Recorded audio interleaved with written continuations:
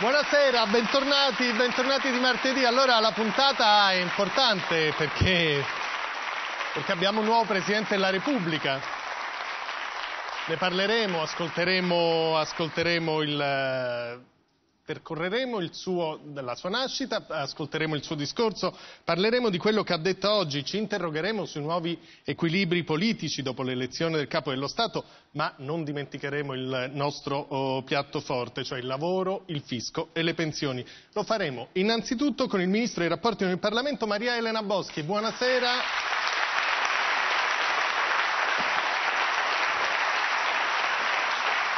Buonasera. Buonasera. Buonasera, prego si accomodi. Ma poi avremo anche altri ospiti, avremo Giuliano Ferrara, Maurizio Landini, Maurizio Belpietro, Luigi Zanda, il capogruppo al Senato del PD, Stefano Feltri del Fatto Quotidiano, Anna Scani, Maurizio Lupi, il ministro NCD, che insomma sono abbastanza seccati ultimamente, Sergio Cofferati. E poi avremo finalmente Carlo Cottarelli, l'ex commissario della Spending Review, viene a dirci che fine hanno fatto i suoi libri, non li trova nessuno. Se uno chiama al Ministero dell'Economia gli dicono guardate Cottarelli lavorava alla Presidenza del Consiglio, chiami la Presidenza del Consiglio ti dicono no guardate lavorava all'economia, ci dirà lui che, ha, che fine hanno fatto i suoi libri. E poi Eugenio Scalfari, ma ancora altri ospiti. Vi presento subito Nando Pagnoncelli che ha fatto un sondaggio subito sul Presidente della Repubblica. Buonasera Nando. Buonasera, buonasera a voi tutti. Una serata importante e interessante, ma noi iniziamo sempre dai bambini. Abracadabra Baby, Emanuela Giovannini.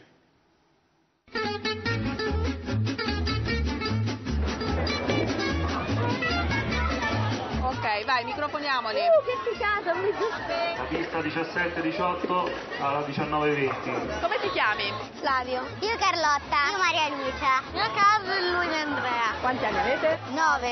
Io sei. Sei brava a giocare a bowling? Sì, così così perché Lei le palle pesano. No, perché pesano le palle. Come si gioca a bowling? Devi fare due passi, come, insomma come faccio io. Poi carichi la palla dietro e poi la accompagni a terra e spingi forte. In amore come va? Zero. Come zero? Non ho trovato persone giuste. Siete fidanzati? No, per ora non è il nostro primo obiettivo. Abbiamo le ragazze amiche ormai. Amiche? Sì. sì. E io ho appena rotto. Mi trattava male. La fidanzata ce l'hai? Sì. Com'è? Così. Quanti anni ha? Giulia, dillo quanti anni hai? Un anno e mezzo. Hai una fidanzata di un anno e mezzo? Sì. Ti piacerebbe essere il Presidente della Repubblica? Sarebbe molto comodo. Non mi piace il ruolo di politico. Che cosa sapete della politica? Ah, politica! Poi diventi brutto se sei politico. Matteo Renzi è brutto. Berlusconi. Berlusconi è brutto. Renzi. Che a me piace di aspetto fisico. Ti fidanzeresti con Renzi? Io no. È bello tutto, ma non mi convince molto. Come amico. Com'è la giornata tipo del Presidente della Repubblica? Molto impegnative. In giro per l'Italia con la limousine. Sarà secondo me sempre nell'ufficio. Se c'è la pausa pranzo va a mangiare fuori con qualche amico di stanza. Ma dove vive? Ah, eh, eh, dove sei andata te? In un castello. Con colonne d'oro? No. Pavimento di diamante? Ehm, Armadi buoni, la stanza giochi, la stanza, la stanza salotto. Ci sono molti computer, stampanti, perché hanno tutte cose mm, professionali. Il Quirinale. Qual è secondo voi la prima cosa che dovrebbe fare il nuovo Presidente della Repubblica? Allora, secondo me... Abbassare le tasse. Mettere un po' su un po' quello che, ci, che sta incasinato. Togliere gli, i ladri. Dare metà dei suoi soldi ai poveri. Tu lo faresti? No.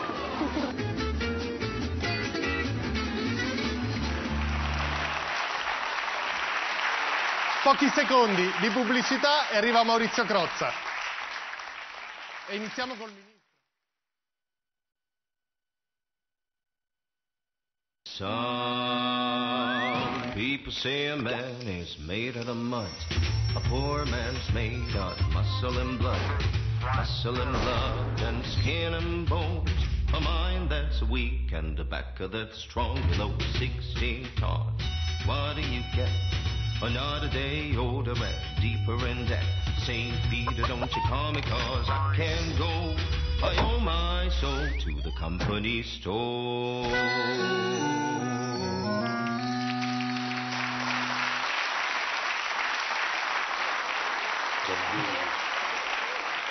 Bordini, sì, sono qui, amore mio.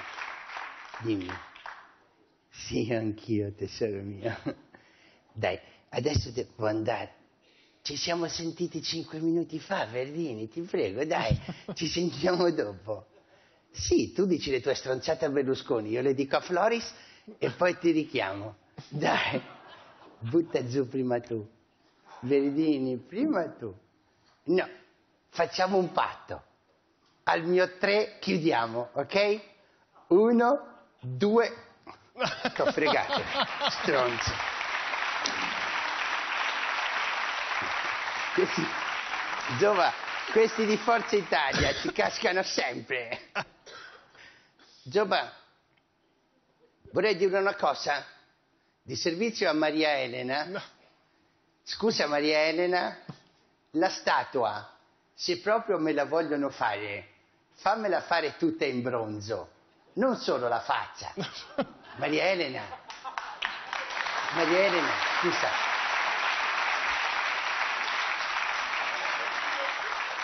Ti è piaciuto di più quando ho fottuto Enrico Letta da solo o quando adesso ho fottuto tutti quanti? Maria Elena, lo dici tu, lo dico io. Ma quanto siamo fighi io e te. Maria Elena, la grande tessitrice del Quirinale. Te lo saresti mai aspettato tu nella tua cameretta quando ascoltavi Take That? Maria Elena, mi raccomando, non dare confidenza a Floris, trattalo come se fosse Zivati, ignoralo. Signori miei,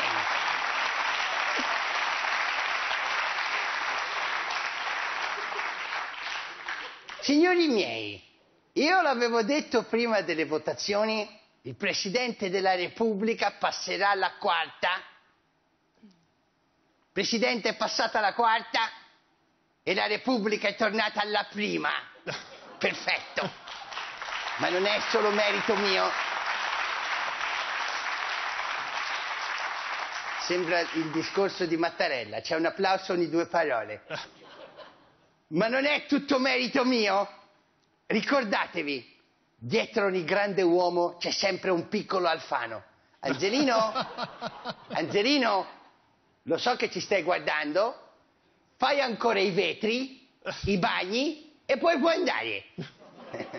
Perché avere un filippino in casa? Perché avere un filippino?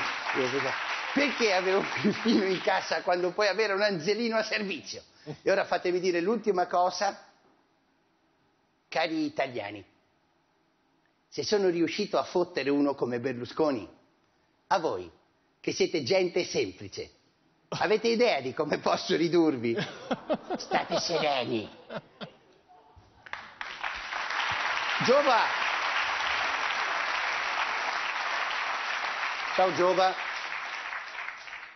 Abbiamo il presidente, abemus presidentem, abemus, abemus presidentes.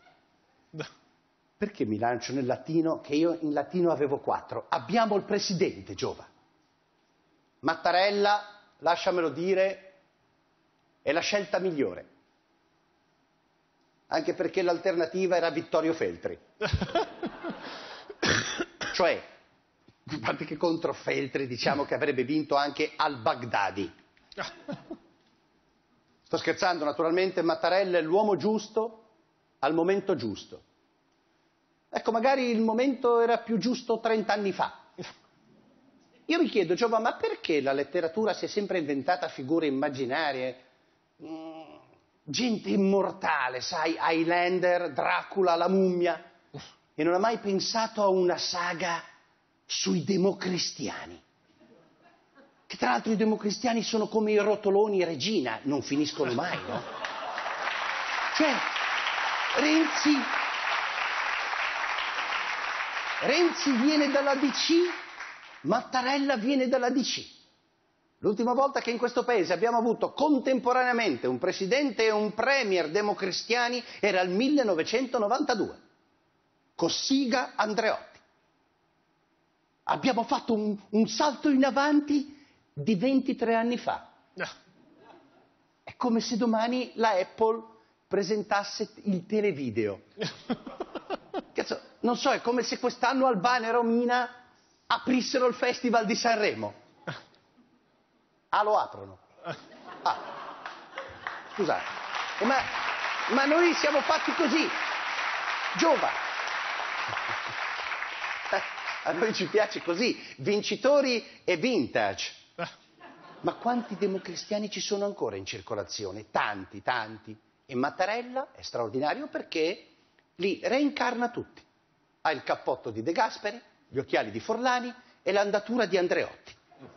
Con Zaccagnini, Mattarella c'era, c'era con De con Aldo Mod- Moro c'era, lui c'era sempre. Lui era già con lo scudo crociato, quando lo scudo ce l'avevano i crociati quelli veri. Ma, voi non- ma tu non hai idea, Giova, il personaggio che è Mattarella, personaggio straordinario, integro, rigoroso, morigerato, sobrio, e così sobrio che in confronto napolitano sembra Fabri Fibra.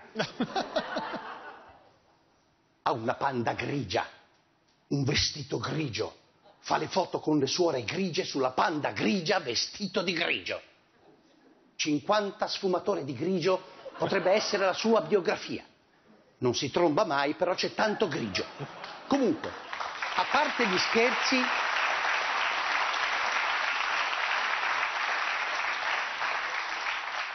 comunque, a parte gli scherzi, Mattarella oggi ha fatto un discorso bellissimo. Quando ha detto sarò un arbitro imparziale, tutto il Parlamento in piedi. Poi ha detto lotta alla corruzione e si sono seduti tutti in paranoia. Bellissimo. Però era emozionato anche lui. E a un certo punto ha perso anche un foglio. E nonostante questo è andato avanti lo stesso. Ecco, io ora ho uno scoop, perché coup de théâtre, de théâtre. Ma perché mi lancio nel francese, che in francese avevo quattro? Colpo di teatro, ho trovato quel foglio. Ora, io Mattarella provo a farlo, ma non lo so fare. Fino a questa mattina io non l'avevo mai sentito parlare. Cioè, per la verità, nessuno l'aveva mai sentito parlare. Addirittura i figli stamattina si sono stupiti. Ah, ma papà parli! Ah, scusa, no! Comunque, avendo qui per caso la parrucca, È quella di Rana. un paio di occhiali,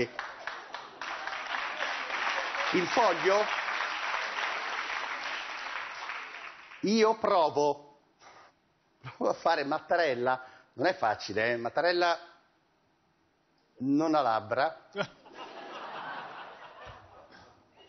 ha la testa incassata, un po' in avanti. Ora è, è difficile per me. E ha la voce così, e con questo foglio che colgo l'occasione per raccontare il tessuto sociale del nostro paese Che bravo. e un po' anche di me.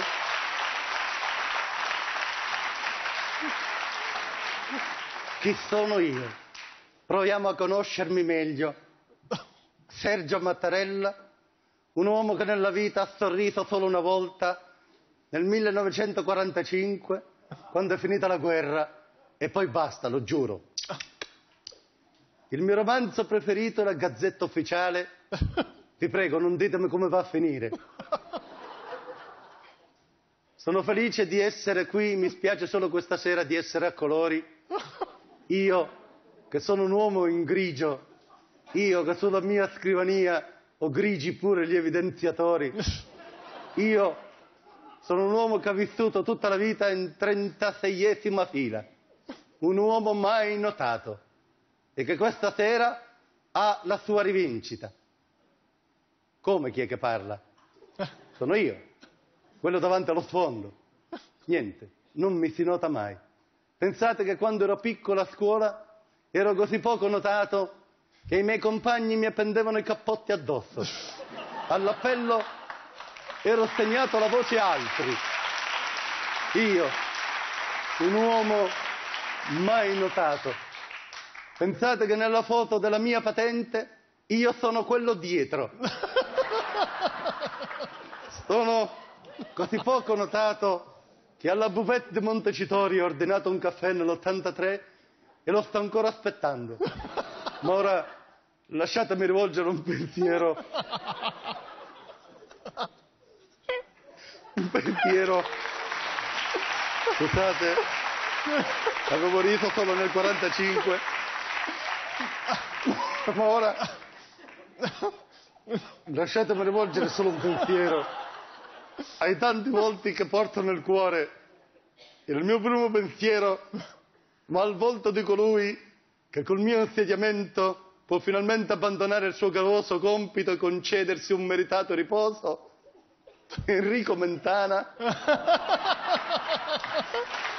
e consentitemi, e consentitemi anche di condividere con tutti voi una buona notizia per il nostro paese. Anche la Sardonia è stata liberata, sta bene, e sta tornando a casa. Viva l'Italia, viva la Repubblica, ma anche il Corriere, se no si offendono. Come sono andato? Mi si è notato? No, meglio. Maurizio Crozza. Maurizio Crozza per la nostra copertina. Allora, Ministro, iniziamo da lei. Che, che sensazione dà partecipare all'elezione del Presidente della Repubblica? Beh, intanto era la seconda volta e pochi nell'arco della stessa legislatura si trovano ad affrontare per due volte l'elezione del Presidente della Repubblica e purtroppo il ricordo del 2013 chiaramente era abbastanza pesante da superare perché nel 2013 ci fu appunto un impasse che portò a chiedere a Napolitano una, una rielezione anche con un sacrificio Però lei personale. ha poco più di 30 anni, no? È vero, ha partecipato già alle elezioni di Napolitano. Questa volta era in, diciamo, in un nucleo promotore, è stata un elemento importante di questa elezione. Cosa si prova come italiani a eleggere il Presidente della Repubblica? Beh, sicuramente c'è in qualche modo l'orgoglio ma anche la responsabilità in quel momento di, di rappresentare tutti gli italiani in Parlamento, nell'elezione di chi per sette anni ci, ci, rappresenterà tutti, il Presidente Mattarella che dovrà essere appunto il simbolo dell'unità del nostro Paese ma anche il garante della nostra Costituzione, delle istituzioni repubblicane. Quindi c'è anche una certa emozione quando si scrive Cioè, il nome dentro l'urna. Lei ormai è dentro alla politica molto, no? è un ministro importante, un esponente importante di un partito fondamentale. Eh, eh, Si avverte il senso del tempo oh, della storia della Repubblica quando si fanno queste cose? Oppure si è presi dal trovare il nome che va bene a tutti? O ci si rende conto che si sta eleggendo il Presidente della No, io Repubblica? credo che sia un passaggio che tutti i parlamentari sentono appunto con, con responsabilità, mentre nel 2013 c'era un senso anche a un certo punto quasi di, di rassegnazione, eh, Mm. di impotenza, perché io mi ricordo che appunto passavamo questi giorni, poi ero appena arrivata in Parlamento, alla prima legislatura, alla prima esperienza, con gli altri colleghi parlamentari, giornate intere nei corridoi, con questo senso un po' di, di incertezza, di, di indecisione e anche un po' di, di impotenza rispetto anche a degli scontri che ci sono stati all'interno del nostro partito, che, che comunque hanno fatto male anche rispetto ai nostri Eravate iscritti, ai nostri circoli. insomma, da- Siamo, per fortuna quella pagina ce la siamo messa alle spalle, questa volta è stato un film diverso, c'è stata una grande compattezza del PD e c'è stato un consenso amplissimo in Parlamento perché abbiamo sfiorato i due terzi. 665 voti vuol dire un apprezzamento grande sul nome di Mattarella in Parlamento e molto ampio perché va da una parte dell'opposizione a tutta la Quindi ha maggioranza un di valore governo, anche il dato ha politico, un valore insomma. sicuramente importante. Noi abbiamo trovato questa foto di lei che fa il segno di ok a qualcuno. Ci chiedevamo chi fosse, se la possiamo far vedere. Vediamo, arriva. Ecco, Non fatta, ricordo chi esattamente chi, dice? fosse, però l'abbiamo fatto con alcuni colleghi del PD, probabilmente era Marco Donati, che è il mio amico del mio stesso collegio di Arezzo, proprio perché abbiamo vissuto con entusiasmo il momento in cui è stato raggiunto il numero 505 ed è stato eletto il Presidente Mattarella. Sì, perché sono stati giorni appunto di, di, lavoro in Parlamento, di lavoro intenso, ma anche perché sentivamo proprio il bisogno di riscattarci dall'esperienza del 2013, di dire che eravamo quasi. in grado appunto alla quarta votazione con un consenso così ampio di eleggere il Presidente di tutti gli italiani e quindi c'è stato un senso proprio anche di calore rispetto alla figura di, di Mattarella subito negli applausi che ci sono stati oltre a oggi già al momento dell'elezione. Quindi è stato proprio anche un senso quasi di sollievo per aver raggiunto un risultato così importante tutti insieme. Poi torneremo su alcuni punti del discorso. Qual è stato il passaggio che più l'ha colpita personalmente? ha fatto un discorso il Presidente in cui ha declinato tutti i valori della nostra Costituzione molto in concreto, però forse il punto che mi ha colpito di più a livello personale è quando ha ricordato il piccolo Taché e poi anche le parole oggi del fratello, perché credo che avendo vissuto entrambi l'esperienza drammatica della morte di un fratello, anche se in età diverse, però in modo così tragico, fossero in qualche modo uniti no? in questo sentimento.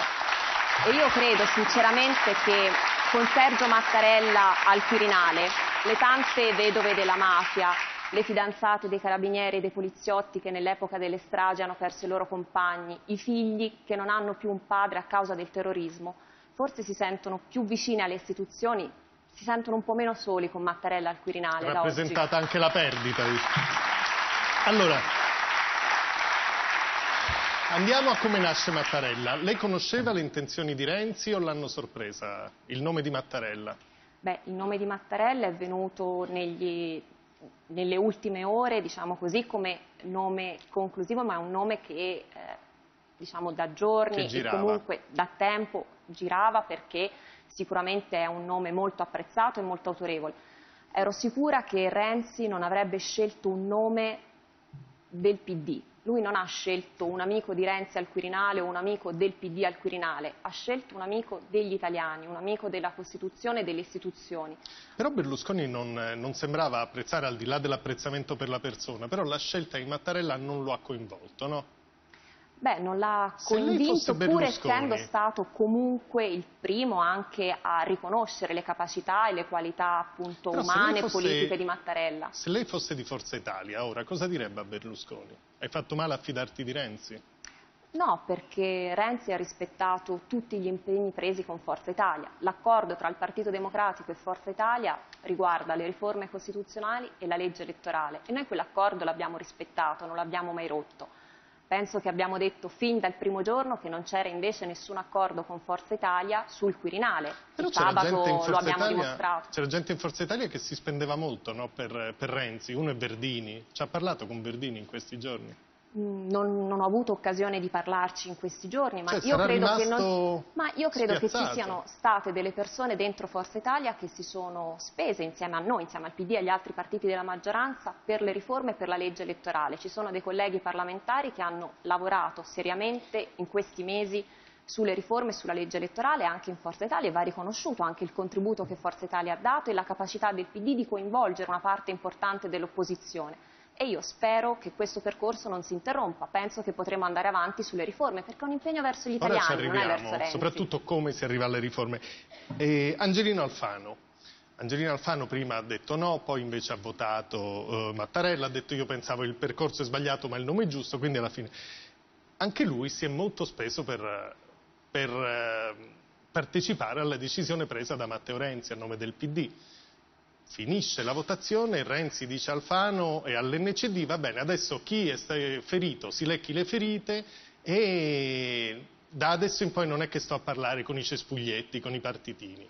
Allora, quando Renzi approccia in maniera così dura, così anche sprezzante un alleato di governo, lei che lo conosce lo fa per dare agli italiani la sensazione che non ha bisogno di nessuno o perché in questo momento ha un'utilità politica parlare in maniera così diretta a un proprio alleato? Né l'una né l'altra, nel senso che secondo me non c'è stato nessun tono sprezzante o aggressivo. Semplicemente c'è stata la consapevolezza di aver chiuso un passaggio delicato e importante per le nostre istituzioni, ma anche la consapevolezza che adesso siamo di nuovo al lavoro per risolvere i problemi concreti delle persone. Allora Però noi abbiamo se detto... Alfano avesse un'opinione da portare, perché dovrebbe non essere ma ascoltato? Su questo come è sempre stato ascoltato in passato, continuerà ad esserlo anche adesso. Quello che abbiamo detto noi, che ha detto Renzi, è se ci sono dei punti specifici, concreti da affrontare insieme, siamo disponibili come lo siamo sempre stati. Quello che riteniamo una perdita di tempo inutile sono quelle riunioni un po' in politichese, quelle sì da prima repubblica, in cui sostanzialmente si parla di grandi retroscena, grandi alleanze e poco dei problemi concreti delle persone. Stiamo governando insieme stiamo affrontando le riforme strutturali del Paese, su quelle ci confrontiamo, ma su quelle dobbiamo andare avanti e non possiamo perdere tempo, giornate a confronti interni. A parlare di politica con i politici? No, io credo che dobbiamo discutere insieme se facciamo o non facciamo le unioni civili che abbiamo adesso in Parlamento, Però al Senato da affrontare, risul- se dobbiamo dice... portare avanti la riforma fiscale, le riforme costituzionali, su questo ci confrontiamo. Dunque, mi dice su che cosa ora procederete? Allora, voi avete due grandi canali, no? la riforma elettorale e la riforma della Costituzione. Adesso cosa succede? Beh, adesso continueremo ad affrontare le riforme costituzionali alla Camera già dalla prossima settimana perché siamo sicuramente a buon punto, riforme costituzionali che portano ad un Senato completamente diverso da quello che conoscevamo fino adesso, che portano ad una nuova ripartizione delle competenze tra Stato e Regioni, a una riduzione dei costi e su quella strada andremo avanti. Sicuramente poi dovremo affrontare alla Camera il passaggio, io spero definitivo, sulla legge elettorale. Del resto è un anno che ci sentiamo dire che non avremo fatto le riforme costituzionali perché alla fine non ci saremmo riusciti, che la legge elettorale si sarebbe bloccata come si era bloccata negli otto E anni invece precedenti. le cose vanno, E invece diciamo. per fortuna Senta, le però- cose sono andate avanti. Per l'Italicum potete anche fare a meno dei voti di Berlusconi, invece per il Senato vi servono, no? per la riforma istituzionale, perché poi tornerà al Senato dove i voti, eh, i voti non sono poi così sicuri. Tra l'altro per ragioni tecniche la legge elettorale e la riforma del Senato sono legate perché se uno abolisce il Senato e si ritrova solo con la legge che riguarda la Camera, se non riesce a abolire il Senato si ritrova solo con una legge, quindi dovete portare avanti tutte e due. L'impressione è che alternativamente abbiate bisogno o della sinistra del vostro partito o dell'aiuto di Silvio Berlusconi. È così? Beh, noi abbiamo bisogno di tutto il nostro partito perché ovviamente il PD deve andare compatto sulle riforme, sulla legge elettorale, ma come sulla pubblica amministrazione, la riforma della scuola, della giustizia civile. Quindi sicuramente il PD deve andare compatto ed è compatto nei momenti decisivi. La maggioranza di governo ha i numeri, sia alla Camera che al Senato, per poter proseguire le riforme anche da soli. Credo però che Beh, sarebbe ha però un senza peccato. essere d'accordo all'interno del PD, no? Perché il PD, ad esempio, sulla legge elettorale non vuole i capilista bloccati, la Beh, sinistra del vorrei PD. capire infatti come, come si possa dire che non è d'accordo il PD. Noi abbiamo approvato al Senato la legge elettorale che è la legge elettorale della ditta. L'hanno scelta i nostri iscritti votando alle primarie, l'ha votata la direzione del nostro partito, l'hanno votata le assemblee dei gruppi del nostro partito e l'hanno votata i senatori al Senato e i deputati alla Camera del PD e raccoglie anche molti dei suggerimenti e delle modifiche proposte da una parte del nostro partito. È una legge elettorale buona. fosse che la sinistra del PD dice no, questa legge noi non la vogliamo perché vogliamo le preferenze, per tutte ragioni interne al Eh, dibattito. io credo che Voi tradirebbe... avrete bisogno di Berlusconi? No, io credo che se alcuni deputati del PD dovessero far mancare il proprio voto sulla legge elettorale che è stata scelta dal nostro partito, credo che in qualche modo verrebbero meno al mandato che politicamente hanno ricevuto dagli iscritti del Però PD, ma che credo sono anche, d'accordo, ma no? credo che farebbero anche che sarebbe un peccato per il Paese e per i cittadini italiani tutti, perché dopo otto anni siamo all'approvazione di una legge elettorale che per la prima volta, grazie al ballottaggio, garantisce la certezza del vincitore e ci dice chi è responsabile delle cose che si fanno o non si fanno Però in lei cinque sa anni. che al di là del fatto che Introduce- magari No, io invece credo che sono d'accordo con lei, c'è parte del suo partito che non lo è. Silvio Berlusconi dice, beh, insomma, adesso mi avete trattato non benissimo, diciamo, adesso discutiamone. Allora, questa ipotesi di potersi appoggiare sull'uno o sull'altro, quanto dal suo punto di vista di ministro che deve portare in porto queste, eh, queste riforme, inizia a diventare rischiosa? Quanto diventa, senti, più vai avanti e ne tratti male, prima uno, poi l'altro, prima uno, poi l'altro, alla fine non è che io rimango senza portarle a casa. Le viene questo pensiero? No, perché non trattiamo male nessuno, questa è la premessa, però non ci facciamo nemmeno fermare da nessuno, perché un conto è ottenere diciamo, un confronto, avere dei suggerimenti, percepiamo perché nessuno ha l'arroganza di avere la verità in tasca, quindi tante modifiche che anche una parte del nostro partito ci ha Però suggerito sono state recepite, però le cose vanno fatte perché il giochino del più uno da una parte o dall'altra ha portato l'Italia per vent'anni a dire allora si sta a zero, quindi il rilancio continuo spesso è un modo per non fare niente, ecco io credo che questo noi non ce lo possiamo permettere. Allora, Ministro, il decreto fiscale, abbiamo un cartello, ora non ho il numero eh, del cartello, ma immagino che la regia lo trovi ugualmente. Allora, questo è il decreto fiscale di cui si discuterà probabilmente tutta la prossima settimana. Entro il 3%, nel rapporto del 3% dell'evasione, non ci sarebbero, eccola qua, soglia di non punibilità per i reati fiscali. Se l'imposta evasa è inferiore o pari al 3% dell'imponibile o dell'IVA dichiarata, frode o evasione fiscale non sono più punibili penalmente. Questo, secondo alcuni osservatori, secondo altri no, però secondo alcuni permetterebbe a Silvio Berlusconi di tornare alla politica attiva scavalcando il blocco della legge Severino. Allora, lo farete? Allora, partiamo allora dalla conclusione del giallo. Questo non riguarda Silvio Berlusconi, nel senso che ci sono stati esperti, pareri che hanno confermato che Berlusconi, da un lato, l'8 marzo finirà di scontare la propria pena, quindi terminerà la pena di Berlusconi. Dall'altro, per quanto però, no? riguarda la Severino, essendo sanzioni di carattere amministrativo e non penale, non c'è una retroattività che andrà a riguardare quelle norme lì, quindi non si applicherà Beh, a Berlusconi. che- vuole che se Sgomberato il passi- campo no, da Berlusconi. Vuole che se passi questo decreto e se passa questo decreto gli avvocati di Berlusconi non faranno eccezione, non chiederanno che in realtà riguardi Beh, anche possono lui. sì. chiedere qualunque cosa, il problema è che siccome la legge non consente poi di aver ragione, ci saranno dei giudici che diranno agli avvocati di Berlusconi che stanno sbagliando. Io ho fatto l'avvocato, quindi lo so che gli avvocati assistono i propri difensori, poi la legge è chiara, dice delle cose e non si può superare il dato normativo. Quindi tolto il dubbio che riguardi No, non è Berlusconi tolto, perché diciamo, non lo riguarda, che dal suo punto di vista possiamo chiederci, beh, sono vent'anni che diciamo che le leggi si fanno per Berlusconi. Possiamo anche decidere che i prossimi vent'anni non le facciamo perché potrebbero riguardare Berlusconi, però io credo che faremo un danno agli altri 60 milioni di italiani che nel frattempo continuano, per esempio, a rischiare di andare in carcere anche se hanno sbagliato magari nei confronti del fisco per una misura comunque non così rilevante, Beh, perché nessuno resta, nessuno resta senza punizione, tutti sono puniti e sono puniti a livello amministrativo con delle sanzioni pecuniarie che noi abbiamo raddoppiato rispetto al passato, Però quindi chi sbaglia paga di Questa più. Si fattispecie dice che riguarda non tutti la frode fiscale, non l'errore, no? Si riguarda la frode. Riguarda la frode, Quindi nella frode c'è dolo, c'è, c'è volontà l'errore, di fare... c'è volontà, c'è l'intento, però c'è anche una proporzionalità rispetto a quanto uno riesce a in qualche modo appunto evadere. Quindi la porterete convinti che non riguardi Berlusconi? Ma questo semplicemente perché oggi noi abbiamo una situazione in cui nel nostro paese nel 2013 12.000 accertamenti fiscali.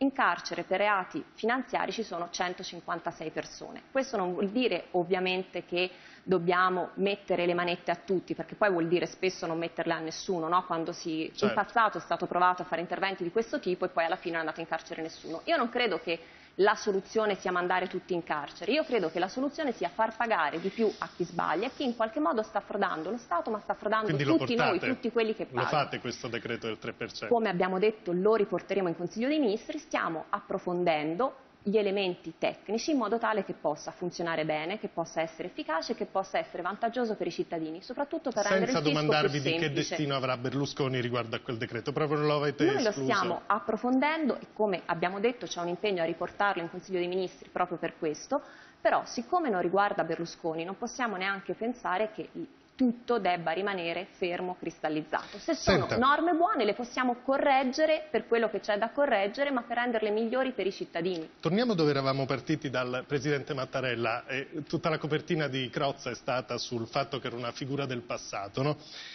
Cartelle 8 e 9, come Renzi finora aveva approcciato le figure del passato. Allora, D'Alema, Veltroni, Bindi, Marini, in quest'anno avete fatto molto per il Paese, ma adesso anche basta. Su Bindi, sta in Parlamento da prima della caduta del muro di Berlino. Veltroni e Franceschini, il primo era disastro, il secondo vice disastro. Cartello successivo. Marini è un uomo del 99, ma intendo il secolo scorso, questo era quando fu candidato a Presidente della Repubblica. Fino chiaro, la ricordiamo per la spesa all'Ikea con la scorta. Enrico Letta, che eh, però ha l'età di Matteo Renzi, via Letta per uscire dalla palude. Allora, è, una, è diverso il ruolo? per cui va bene una figura del passato? È diverso il ruolo di Matteo Renzi, che ormai è più sicuro del potere che ha, o almeno del governo che sta svolgendo, e quindi si permette di accettare anche figure che prima invece gli davano, gli avrebbero eh, fatto da avere il sapore di persona che non rompe con il passato. Cos'è cambiato? Perché Matteo, Mattarella si è salvato da quei giudizi? Perché è un rottamatore, perché è uno che ha rinunciato alla poltrona per una legge del suo governo che non condivideva e io credo che questo sia perfettamente in linea con la politica che portiamo avanti. Noi non abbiamo mai fatto della nostra richiesta di rinnovamento all'interno del nostro partito e poi nel Paese un elemento d'età generazionale. fu un rottamatore, pure la Finocchiaro fu un magistrato che agì in Sicilia ugualmente. Sicuramente, Franco Marini ha momento... un passato di lotte storiche molto dure. Sicuramente sono persone che hanno un percorso politico autorevole, ma che non erano un elemento di eh, in qualche modo convergenza ampia quando sono stati proposti come candidati. Noi in modo molto trasparente nel 2013 abbiamo detto che alcuni candidati, se fossero stati proposti dal PD, non li avremmo condivisi. Mattarella che ha sicuramente delle qualità personali indubitabili perché gli vengono riconosciute anche da coloro che non lo hanno votato e che ha sicuramente un percorso politico come garante appunto della Costituzione, conoscitore delle istituzioni, che ha lottato contro la mafia, anche una persona che ha saputo fare un passo indietro, per esempio non ricandidandosi nel 2008 oppure scegliendo appunto anche di uscire dal governo di cui non condivideva delle scelte. Dopodiché è ovvio che al Quirinale debba stare una persona che ha equilibrio, che è garante di tutti, e lo stesso Presidente oggi nel suo discorso ci ha tenuto a rimarcare che sarà un arbitro imparziale, imparziale. perché così deve essere. Era mai capitato di parlarne con Berlusconi di Mattarella prima che Renzi facesse il nome? Io personalmente no, non so sinceramente se ne ha parlato Renzi Ministro, perché non, non partecipa a quegli incontri. Come si immagina l'Italia da qua a dieci anni? Lei avrà poco più di 40 anni tra dieci anni.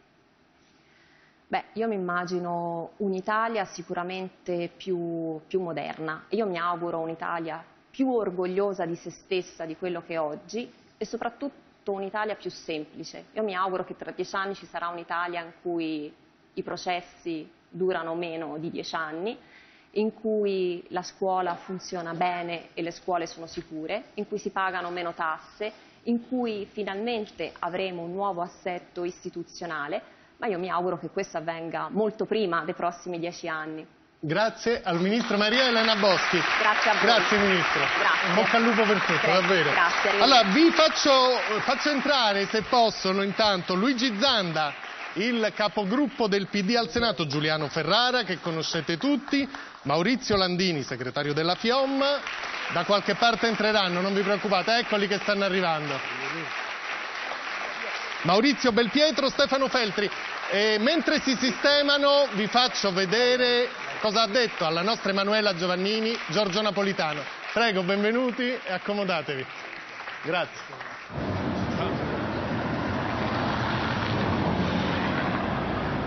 Come sta?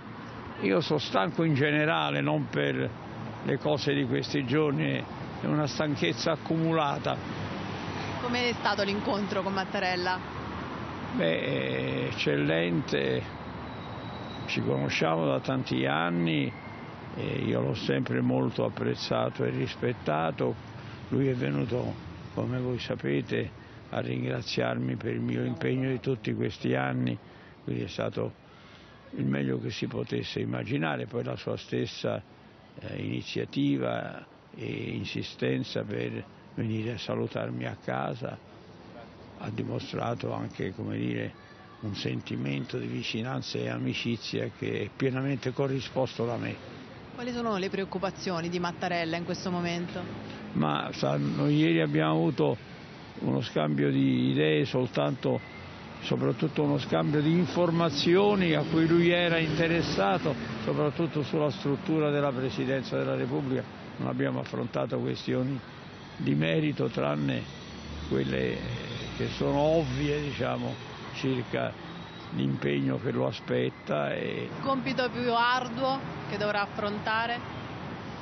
Eh, il compito di una rinnovata unità nazionale che non significhi certo annullamento della dialettica tra posizioni politiche e culturali diverse, ma che significhi forte senso dell'interesse comune, forte interesse per la coesione sociale e nazionale e in questo senso è qualcosa di irrinunciabile.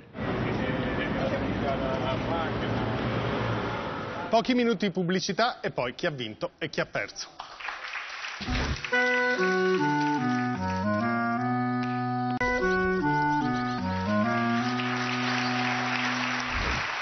Non è stata un'elezione indolore. Emanuela Giovannini e Andrea Scazzola. C'è il sedimento del Presidente, si transena tutto quanto. Orso, Piazza Venezia, Piazza Venezia e qua. Ne vediamo sempre tanti, ne vediamo. Tra papi e presidenti. Ha qualcosa di diverso questo nuovo presidente? I capelli, bianchi. Perché era cristiano di sinistra questo, no? Poi si è dimesso da ministro per la legge Mammì, quindi Berlusconi sarà contentissimo di questo.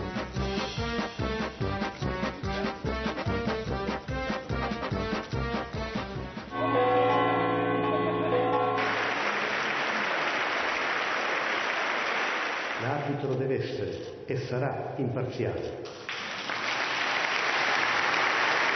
I giocatori lo aiutino con la loro correttezza. Perdini, il patto del Nazareno è saltato. E adesso che si fa? Continuerà a essere l'uomo della trattativa oppure bisogna bella giornata che oggi avremo il Bella. Presidente della Repubblica. Eh, di tutti? Anche vostro? Berlusconi ha aperto, pure stavolta ha aperto. Vediamo, vediamo, vediamo. Berlusconi ha perso, lo dicono dal 1994. Eh, vabbè, noi abbiamo fatto la figura dei signori e Renzi ha fatto la figura del bugiardo. È terribile.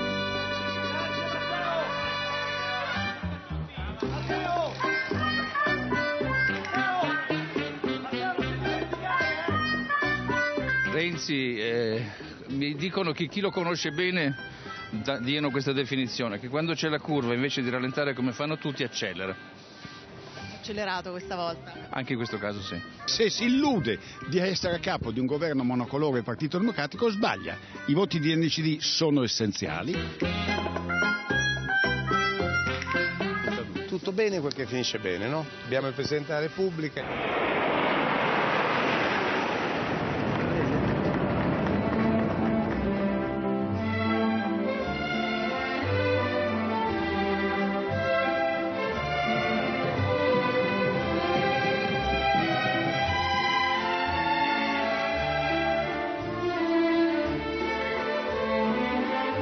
Io sono molto contenta, guardate ho anche un bracciale in omaggio al Presidente, che è un bracciale con tutte le vedute, con vedute di tutte le città siciliane più importanti.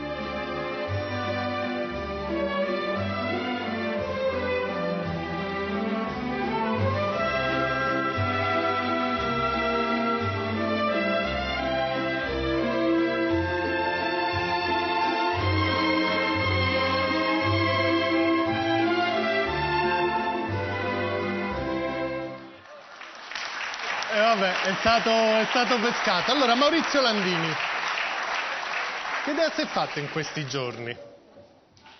Mi sono fatto l'idea che sul piano, diciamo così, politico, senz'altro è stato un successo del Presidente del Consiglio, segretario anche del PD.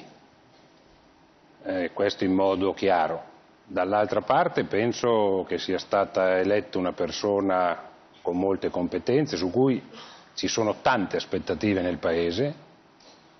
Penso da questo punto di vista che il discorso che oggi ha fatto sia un discorso molto importante che rimette al centro la Costituzione, la sua applicazione.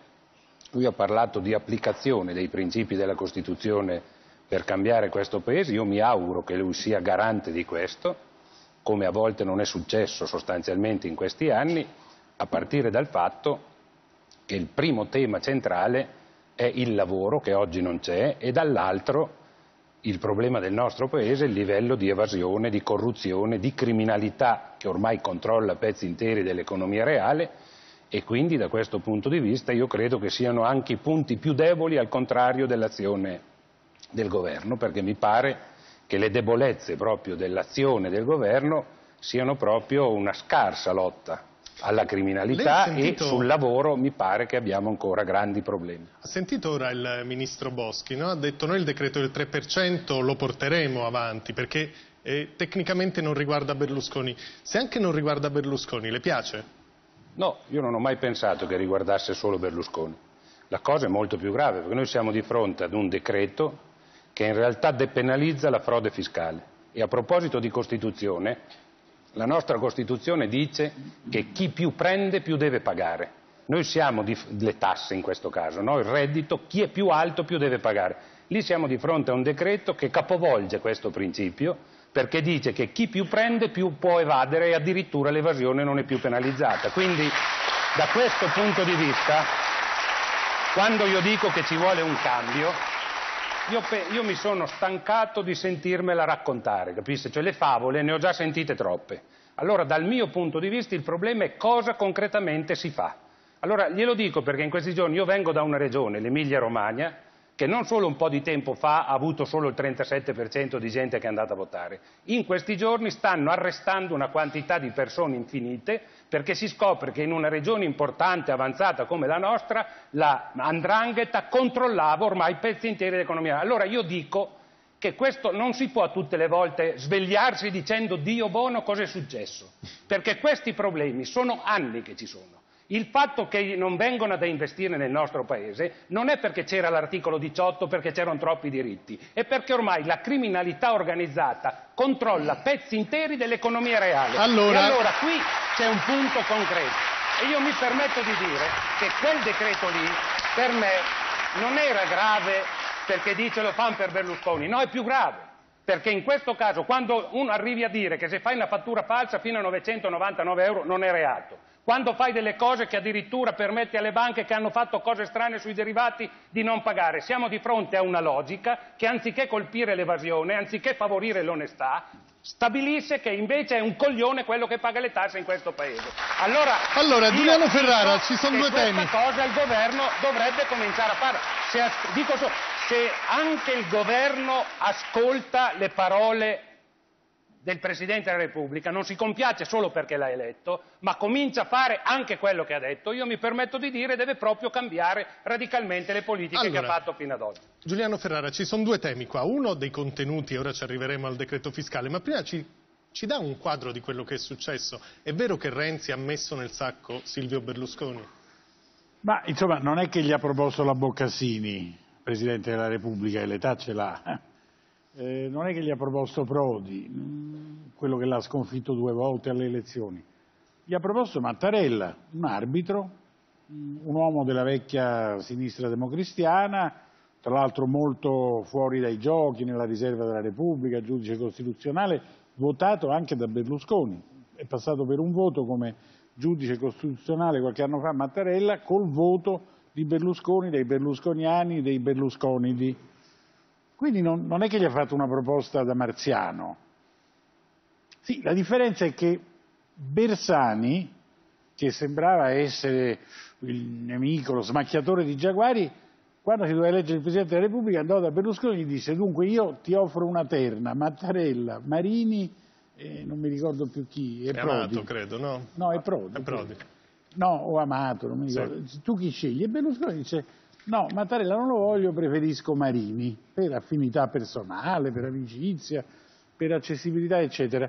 Bersani, invece, eh, Renzi, che doveva avere fatto un patto piduista, vergognoso, per far filtrare dappertutto la criminalità anche in Emilia Romagna, per consentire una grande ondata di evasione fiscale, per arricchirsi alle spese del proletariato, queste palle già fatto. ci raccontiamo in televisione. L'arricchimento l'ha già fatto, Queste anche palle- senza eh, l'intervento del. Berlusconi ha arricchito l'Italia, non Sì, se sì, stesso sì. soltanto. Oh, no, per perché ha fatto un'industria mentre tu chiacchieravi, come Sì, Marchionne, che mentre Sì, tu sì. chiacchieri di lavoro assume Sì, sì, 1500 sì, sì, sì, persone. Eh, quindi No, lascia stare Landini, la demagogia sta a zero. no, no, Comunque per rispondere alla sua domanda, così, per rispondere perché alla domanda di Floris, ancora in cassa per rispondere alla domanda di Floris, Lasci- ma non mescoliamo di cose Ferrara e poi che non ritorna, c'entrano. lo lasci concludere Invece? Renzi che doveva fare questo patto scellerato è andato da Berlusconi e ha detto no, guarda, è Mattarella, o così o niente. Beh, però gli ha proposto quello che già gli piaceva, ci dice lei. No. Cioè ha fatto il salto. No, allora non ci siamo capiti. Mm. Bersani, nemico di Berlusconi, ha proposto una terna di nomi Sì. e Berlusconi ha potuto scegliere. E ha Renzi detto, invece gli ha detto il "Preferisco nome me". che però Renzi non è ha che gli ha proposto Prodi, punto e basta, va bene? E di Renzi si diceva che avevano fatto dei patti loschi, terribili, eccetera. Quindi, prima di tutto, non bisogna stare a sentire le prime coglionate che si dicono in televisione e sui giornali. Il patto del Nazareno non comprendeva il Presidente della Repubblica. Secondo, Berlusconi ha fatto un errore tipico suo. Siccome non è un tecnico della politica, un politico professionale, è un privato, ha avuto una botta di cattivo umore. Ha detto me lo dici troppo tardi, non mi lasci la possibilità che mi ha lasciato Bersani di scegliere fra due o tre nomi, me la metti così, si è arrabbiato e ha detto non lo voto. Ma dopodiché ha telefonato a Mattarella e ha detto guarda non è per la persona, è per il metodo, sono quelle cose che Alla sappiamo fine. all'italiana. Allora, Un replica di Landini, episodio. poi Belpietro. No, io non dico È soltanto... vero che alla fine, diciamo, erano due atteggiamenti. Uno di sinistra, dice Ferrara, quello di Bersani che in realtà però poi dava la scelta a Silvio Berlusconi e l'altro invece più pragmatico che alla fine è stato- ha portato più No, risultati. io mi, mi consento questa battuta. Berlusconi è vent'anni che dice che il pericolo in questo paese sarebbero i comunisti, in realtà è stato fregato dai democristiani, no? come raccontava qualcuno, quindi forse dovrebbe essere un po' più attento diciamo, a quello che avviene. Detto questo, io mi limito ad osservare da questo punto di vista un dato oggettivo che è avvenuto. no? Di fronte a questa elezione, per come è avvenuto, nel Paese c'è un elemento di fiducia rispetto a quello che è avvenuto, che è esattamente l'opposto allora. di quello che è successo due anni fa. Ora io dico, perché se ascolto sempre il discorso, c'è stato anche un ragionamento che ho trovato molto importante, del resto anche questo è un punto della Costituzione, in cui il Presidente eh, ricorda come sia importante per affrontare i problemi il coinvolgimento anche delle forze sociali e delle formazioni sociali nel prendere le decisioni e nel formare anche il processo di cambiamento. Mi sembra che sia l'opposto di quello che sta facendo Allora, questo governo. Adesso naturalmente Quindi sentiamo il capogruppo al Senato del PD. Prima il parere di, di Maurizio Belpietro. Allora, cosa è successo dal suo punto di vista e chi rimane col cerino in mano? Ma è successo una cosa semplice, eh, bisogna tornare indietro un anno fa, a gennaio, quando Berlusconi era fuori dai giochi e, viene riabilitato sostanzialmente da Renzi, perché Renzi lo chiama, fa il patto del Nazareno. Eh, Berlusconi ha ovviamente dei benefici da questo patto del Nazareno, innanzitutto perché torna sulla scena e comunque ha un ruolo che altrimenti non avrebbe avuto perché stava confinato eh, ai servizi sociali, fuori dal Parlamento, quindi certo eh, non era nelle condizioni migliori per poter dettare legge. Eh, sottoscrive un patto del Nazareno che prevede tra le, le varie cose, le riforme, il Senato, la legge elettorale, anche la Presidenza della Repubblica, ovvero facciamo in maniera condivisa, eh, discutiamo insieme chi portare alla Presidenza della Repubblica. Credo anche che ci fosse già un nome e che fosse Giuliano Amato. Berlusconi si presenta alla- per incassare questa, questa promessa sostanzialmente, ma si sente dire invece un altro nome. Quindi dal suo punto di vista si sente fregato, ovviamente. Se poi fa il bilancio di tutto quello che è accaduto in questo anno, beh, in fondo le carte che aveva in mano all'inizio erano scarse, eh, se non quasi nulle, insomma. no? E, quindi alla fine Fregato, ma ci può stare. ci può stare. Che cosa accade? La, la- la cosa strana è che a un certo punto l'NCD segue Berlusconi su questa linea e poi si rende conto che non può stare al governo eh, se vota contro il, eh, il Presidente della Repubblica e quindi torna sui suoi passi. Ma ora di NCD parleremo col ministro Questa- Lupi che questo sta è ciò che è accaduto. Presidente Oggi io Zanda. credo che comunque il patto del Nazareno, rim- rimesso insieme ai cocci, ci sia ancora. Poi alla fine. Presidente Zanda, ci dia la sua versione dei fatti. Com'è andata? Ma guarda, io credo che l'Italia aveva bisogno di un Presidente della Repubblica e serviva quindi prima di tutto individuare la persona che avesse le qualità, che avesse una sua storia personale, che desse le garanzie che servivano al Paese in un momento difficilissimo di grandissima crisi. Serviva naturalmente una maggioranza parlamentare quanto più larga possibile e serviva un, un presidente che avesse anche un rapporto con l'opinione pubblica, cioè che sapesse suscitare nell'opinione pubblica dei sentimenti di, di fiducia e fosse credibile. e la scelta è caduta su Mattarella. Io credo una scelta eh, molto felice perché la maggioranza è stata larghissima, quasi due terzi. L'opinione pubblica ha accolto in un modo, mi sembra, straordinariamente favorevole la nomina, la persona per chi la conosce, perché è una persona di grandissimo valore, in- integerrima, una vita che dimostra quali sono le sue qualità. Quindi io non, non la, non andrei a fare e poi, grandi, grandi dietrologie. Direi che una era, un c'era, c'era un obiettivo, l'obiettivo è stato raggiunto, è stato raggiunto dalla, dall'A alla Z, quindi va bene così. Stefano Feltri, adesso si riparte da quel decreto fiscale che ha già fatto scaldare Landini. Che significato ha? Ma le cose che ha detto poco fa qui Maria Elena Boschi sono abbastanza incredibili perché noi avevamo capito almeno che c'era nel governo la volontà di togliere la frode fiscale perché a differenza di quello che ha detto la Boschi uno non fa una frode perché si sbaglia, la frode vuol dire che uno si mette d'impegno per imbrogliare il, dolo, no? fisco, c'è il dolo perché sennò non si chiama frode, sennò è un errore. Quindi, e non è neanche vero che non avrebbe beneficiato Berlusconi, perché se uno viene condannato per frode fiscale e poi la frode fiscale che ha fatto non è più un reato, non può mica continuare a risultare colpevole per una cosa che il legislatore ha deciso che non è più un reato. Diciamo che là ci sono Quindi- delle letture e degli No, la- la osservatori lettura- che però chiaramente Berlusconi ci proverebbe insomma a Berlusconi ne avrebbe sicuramente l'archivio- beneficiato. Poi la, la cosa che era... della Severino. Esatto, la cosa che era poi da discutere era se la fine diciamo, dell'aspetto penale della frode fiscale comportava anche la caduta dell'interdizione della Severino, che è una legge che è un po' ambigua perché uno viene interdetto ai pubblici uffici, non può can- ricandidarsi per colpa di una sentenza, però non è una conseguenza penale. Una cosa giuristi, ma insomma il concetto è che la cosa un qualche interesse per Berlusconi ce l'aveva. Ma al netto di Berlusconi, facciamo detto finta-. Facciamo finta che abbia ragione la Boschi che Berlusconi non c'entra. Se anche non c'entra, ma non si può in questo paese in questo momento fare una legge in cui si dice che puoi evadere per una certa percentuale, perché appunto, come diceva anche Landini prima, uno più fattura più può evadere, quindi si dà un credito per dire no, fai pure un po'. Poi non è che uno evade per il 3% se sa che fino al 3% è salvo, evade per il 6, per il 7 perché sa che fino al 3 non lo beccano. Quindi bisogna mettere almeno un tetto in, in- in euro, non in percentuale, se no una grande banca può evadere molto di più, molti milioni di euro anche teoricamente. Questa è una cosa che il governo Renzi non può fare per due ragioni. Uno perché perderebbe la faccia anche di fronte a un Presidente della Repubblica che ha fatto mettere il discorso sulla corruzione e sulla legalità. La seconda ragione per cui non può farla è che ha fatto una parte della legge di stabilità che prevede un aumento degli introiti della lotta all'evasione. Come si aumentano gli introiti della lotta all'evasione Ci se si mette una Giuliano soglia all'evasione lecita? Parte da questa contraddizione Renzi che ora dovrà fare un decreto che, secondo Stefano Feltri e secondo Maurizio Landini, contraddice le parole del Presidente che ha appena eletto. Una caratteristica di Renzi, penso che gli vada riconosciuta, anche se sia in dissenso dalla sua ideologia, dalla sua visione dell'Italia, dalla sua cultura, da come eh, agisce in quanto Presidente del Consiglio, una caratteristica di Renzi è di non avere l'ossessione isterico-nevrotica compulsiva di fronte al nome Berlusconi. Noi siamo qui quasi tutti, forse solo Belpietro ed io, ma anche Zanda non ne siamo affetti. Come il dottor Stranamore, come il dottor. Stranamore nel film di Kubrick, ah, anche la cosa che deve alzare per forza. Appena si nomina Berlusconi la gente si, si gasa proprio. Si... Allora, Berlusconi è stato cacciato da Presidente del Consiglio dopo essere stato avvilito e sputtanato da un'inchiesta che si è rivelata fallace perché è stato assolto in giudizio sulla sua vita privata.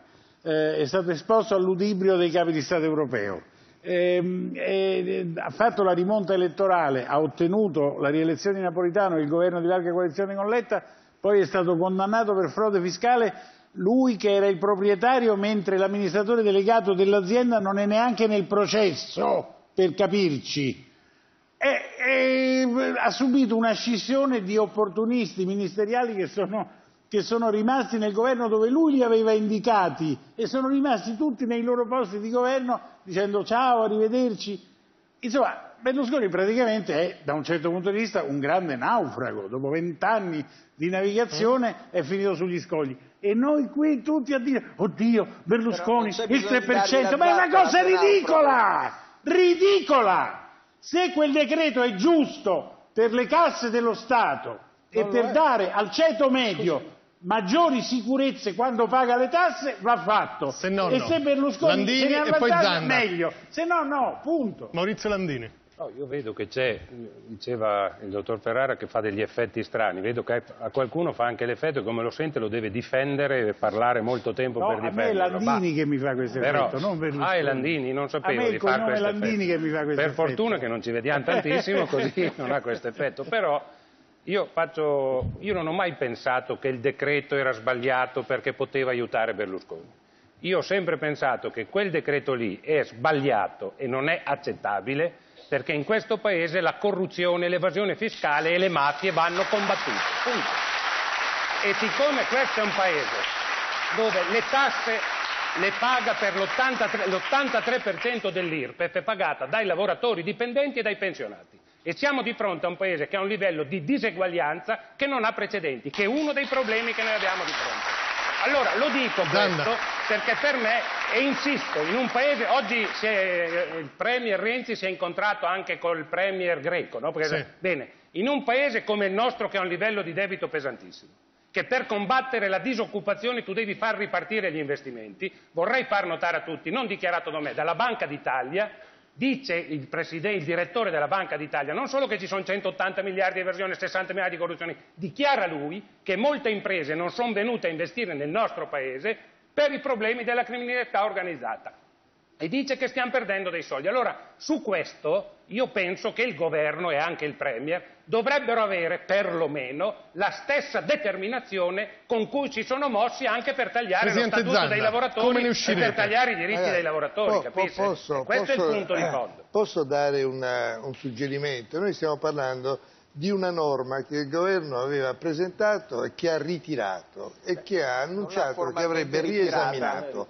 sotto, eh, e che l'avrebbe ripresentata il stiamo. 20 di febbraio. Possiamo discutere di una norma che c'è e non di una ipotesi di Ma, norma che non c'è perché no perché il governo, il- il governo l'ha ritirata annunciando che l'avrebbe riesaminata sulla base È una delle obiezioni che abbiamo adesso sentito e che sono obiezioni serie Sì, che vanno esaminate. dell'unica legge che Vediamo, aspettiamo che la norma venga approvata, cioè che ci sia. L'hanno già approvata. non c'è. L'hanno già approvata, devono cancellarla. ma non la fate, cancellarla. la- discuterà il Consiglio dei Ministri il approvata. 20, Però l'hanno già- il 20 di febbraio, l'hanno già iter votato alla vigilia di annunciata. Natale, però era singolare Eh, che, tu, che il Consiglio dei Ministri, molti ministri non sapevano che cosa avevano fatto. L'ho trovato singolare. questo è un Io al governo no, non ci no, sono ma mai stato, allora, però ho trovato che questo era ma un elemento un po' delicato, un'altra ecco, questione, diciamolo. questa è un'altra questione. Qualcuno lo io, sapeva, io- no? io- io so che il governo si riunirà il 20 di febbraio per esaminare ed approvare una norma che ancora non conosco. Quindi invito a discutere una norma nota e non una norma Pubblicità e poi da qua ripartiamo.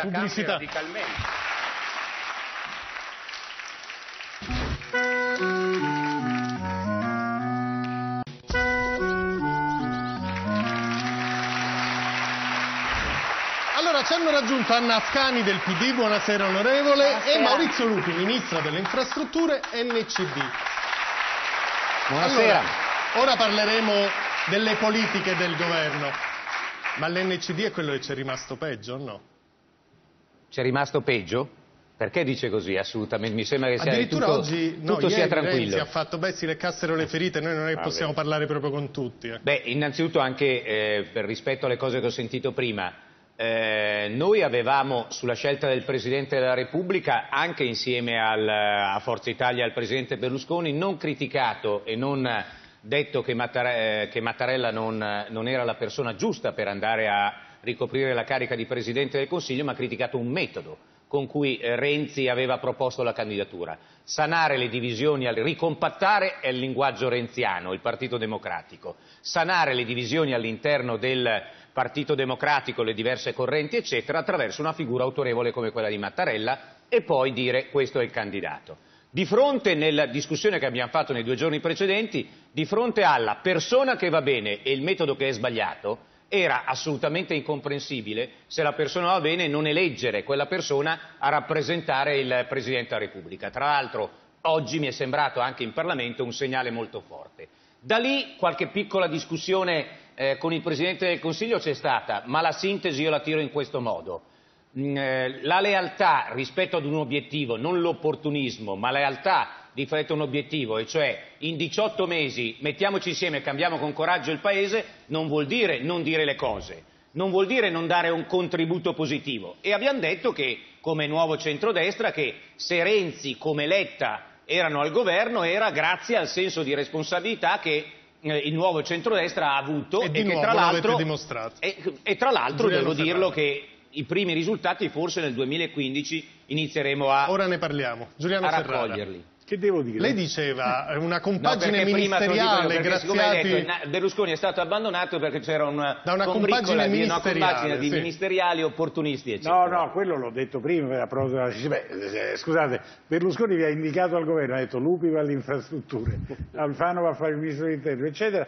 Poi lo hanno condannato e voi avete detto ciao, bye bye, e, e siete rimasti ma Giuliano, governo. Giuliano Ma scusa, Ferrara adesso non per pazienza, no, ma ma abbi pazienza. Giuliano Ferrara, Giuliano, Giuliano Ferrara? Ma- ma non per vuol ria- dire- no, ma no, non per riandare alla storia, tant'è che tutta la contraddizione che ha vissuto e continua a vivere Forza Italia dal novembre del, del 2013 a oggi sta esattamente su questo. Non è che Berlusconi ebbe l'intuizione forte di fare un governo di larghe intese perché il Paese era nella palta più totale e le elezioni erano eh, quelle che erano state nel 2013. Rispetto alla questione giudiziaria di cui noi abbiamo- l'abbiamo sempre sostenuto e difeso, lui ha scelto eh, legittimamente di anteporre quel tipo di battaglia a quello che noi ritenevamo invece fosse il compito della politica. Si chiama eh, Mattarella oggi l'ha definito bene io- comune, è una parola a cui io tengo molto. L'unica cosa che non accetto è l'idea dell'opportunismo, del poltronismo o del fare i cespugli piuttosto di quant'altro. L'unica cosa che Ognuno dà il suo che Non contributo. accetti è la verità. Vabbè, No, pazienza. no, non è la verità, Comunque io la volevo verità. dire, volevo La dire tua, una la cosa. mia, qual è? Ma La no, vedremo. è la verità che sanno tutti gli italiani. Ma Comunque, dove? Eh, non mi eh, sembra, però. eh, Vogliamo, sempre per, in omaggio alla verità, passare dalla discussione sul 3% alla sottostante discussione? Secondo voi non è grottesco che Berlusconi eh, sia invitato al Quirinale alla cerimonia di insediamento di Mattarella, guidi 100 e più deputati nei loro comportamenti parlamentari, sia presidente di un partito nazionale, il suo coordinatore alla scorta, è un ex presidente del Consiglio, per vent'anni ha fatto infuriare mezza Italia. Non è assurdo che Berlusconi sia interdetto fino al 2020 dalla- dal, dal- dal partecipare alla corsa elettorale? Però, Florio, aspetti, cosa aspetti, su- Lupi, quindi che ora sarà- deve no, parlare anche con 3% o sarà un'altra Vediamo cosa. se Feltri pensa che se- sia grottesco. Se vogliamo reinserire Mi dica se è grottesco, poi Belpietro su democratico. Quello che distingue le democrazie dai regimi autoritari è che la legge più forte delle persone. C'è una legge che ha votato anche il centrodestra di Berlusconi e Berlusconi è caduto vittima della sua stessa legge, cioè la legge Severino. Per cui sarebbe una cosa preoccupante se a Berlusconi quella legge non si applicasse proprio perché è un ex presidente del Consiglio. Non conta solo il curriculum, conta anche la fedina penale. Ora ci torniamo. Belpietro, come legge lei lo stato di NCD? Ma NCD si trova schiacciato tra il movimentismo del Presidente del Consiglio e l'altro polo di centrodestra che è Forza Italia. E cercava di uscire da questa situazione, lo ha fatto soprattutto in vista delle elezioni regionali, si è rialleata con Forza Italia perché si rendeva conto che se fosse rimasta in mezzo avrebbe avuto qualche problema e lo ha fatto proprio nel momento in cui c'era l'elezione del Presidente della Repubblica. Si sono presentati convinti di avere una linea chiara, definitiva, sicura, perché dall'altra parte Renzi doveva concedere eh, qualcosa sul Presidente della Repubblica e si sono trovati invece senza carte in mano. A questo punto, anziché decidere o di dire sì subito oppure di fare fronte comune con Berlusconi, prima hanno detto di sì, poi hanno detto di no, non si capisce la ragione francamente, o meglio la si capisce benissimo, rischiano di andare a casa tutti perché Renzi ha detto chiaramente guardate che se non votate il Presidente della Repubblica io faccio la crisi, vi mando a casa e vi sostituisco con quelli che, che trovo, cioè con, con quelli che abbiamo letto tutti quanti, no? un po' di Sinistra Ecologia e Libertà, un po' di eh, Movimento 5 Stelle, un pezzo del loro partito. Il loro partito, per la Boschi che era qui, forse l'unica cosa che non ci siamo fatti dire, è che eh, lei ha convocato 11 esponenti del nuovo centrodestra e li ha convinti a votare per Mattarella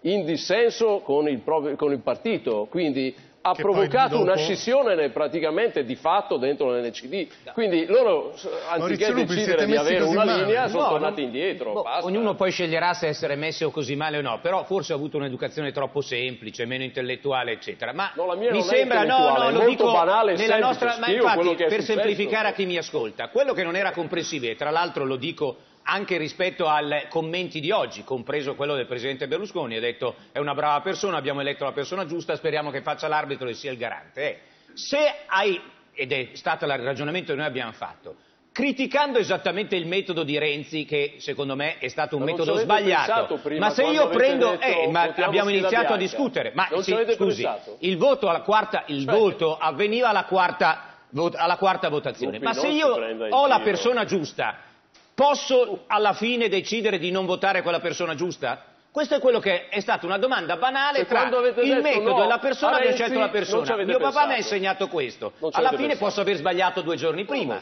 Ri- abbiamo ridetto e ribadito come ribadiamo con un piccolo particolare. In Consiglio dei Ministri non è che abbiamo il parocchi, non guardiamo le cose che arrivano. In Consiglio dei Ministri eravamo lo- tutti ben coscienti della proposta che Renzi aveva portato. Sapevate Questo che ne avrebbe potuto guadagnare anche insieme, Silvio Berlusconi? L'abbiamo letta insieme, no, non, non sa- qui ha ragione Ferrara, non Ma è ne- che ogni volta che arriva una legge è per Berlusconi. Ma non vi siete Era una proposta di semplificazione Beh, però, fiscale. Ministro, è siete una tutte legge persone accorte non siete tutte persone accorte politicamente, non potevano risuonare un decreto che incide sulla frode fiscale. Mi scusi, un decreto che incide Cioè, sulla frode fiscale, o meglio, poteva- no, no.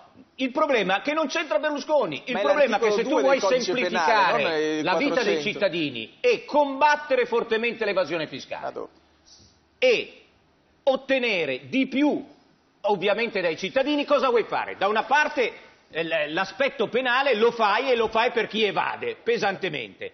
L'aspetto invece amministrativo e la pena amministrativa è quella di dire che se tu hai evaso eh, fino al 3%, fino al massimo del 3%, non è che scappi, paghi il doppio di quello che hai evaso. La filosofia del decreto che stiamo facendo è la semplificazione nei confronti dei cittadini. Non c'entra niente eh, a- a- agevolare gli evasori. Scusate, io po'- non capisco. po' di Allora, mettiamo da parte Silvio Berlusconi e parliamo di fisco. Noi ci entriamo Se non ci dalla fosse porta Silvio del Berlusconi reverse sarebbe la cosa charge. più giusta del mondo. E allora abbiamo fatto la cosa più giusta. Ma di no? fisco parliamo. Paola Baruffi e intanto salutiamo Giuliano Ferrara che ci raggiunge dopo sulla legalità con Sergio Cofferati, Sì. tra pochi minuti. A dopo, arrivederci. Paola Baruffi.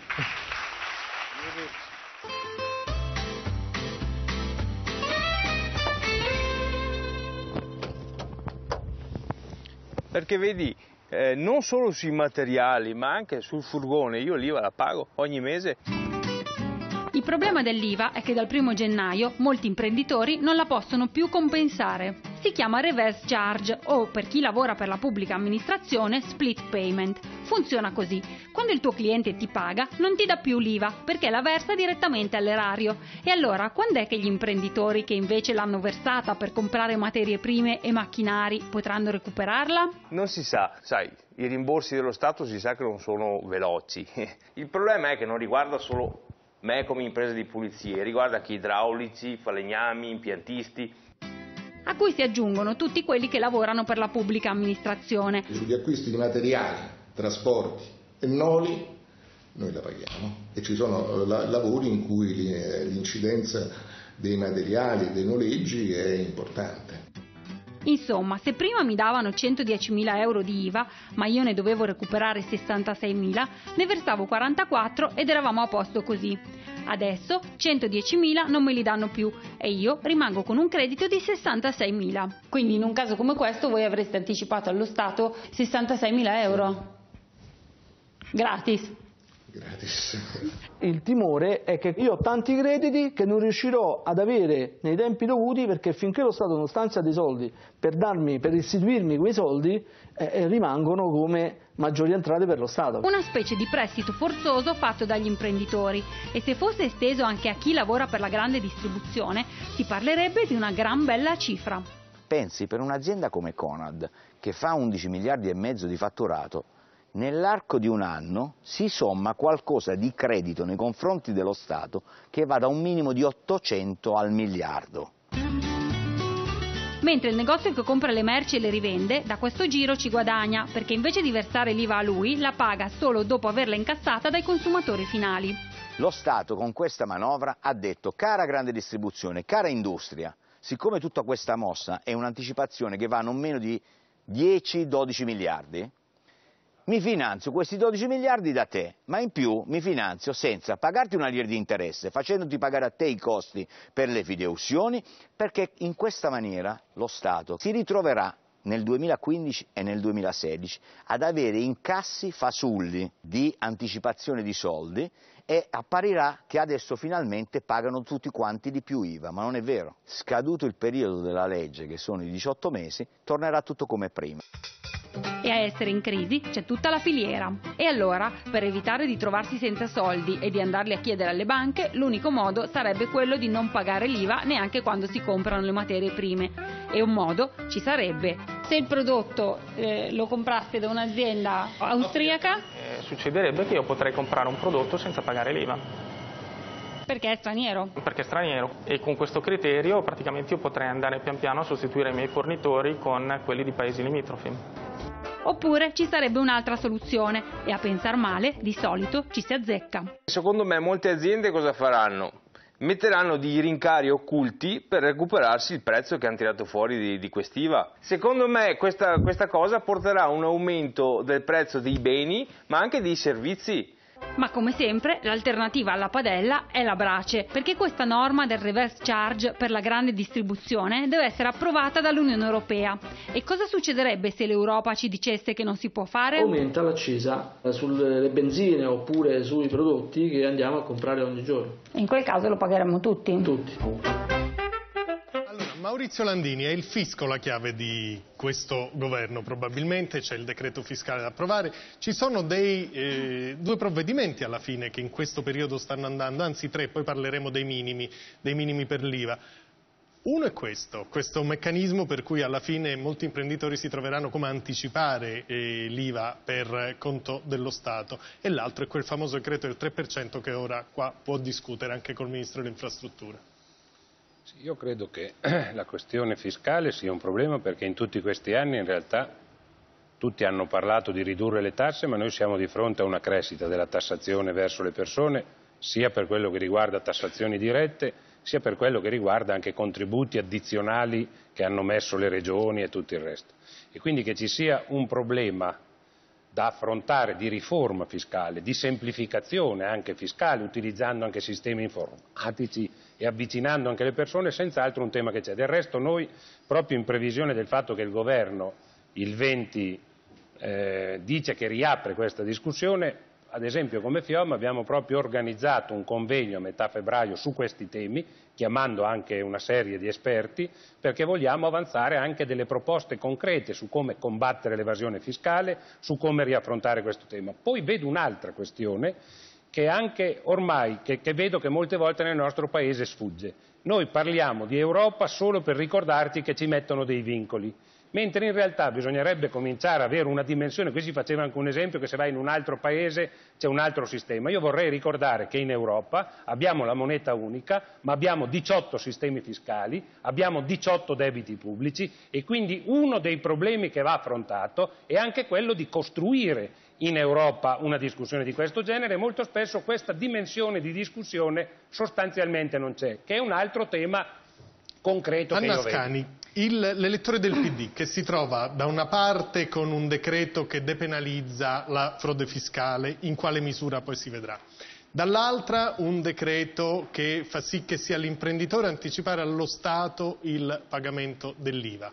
Cosa deve pensare della vostra politica fiscale? Intanto andiamo per, per, gradi, perché ho sentito parlare molto di questo decreto fiscale, una cosa non si è detta, che è un'attuazione di una delega che il Parlamento ha votato. L'unica cosa che c'è oggi, cioè il decreto ufficiale arriverà il 20 perché non è stato trasmesso al Parlamento, quindi alle commissioni che poi devono poter dare un parere su quel decreto, è la delega del Parlamento. Dentro la delega del Parlamento cosa c'è scritto? Uno, che bisogna abbassare la pressione fiscale, quindi bisogna istituire un fondo per ridurre la pressione fiscale.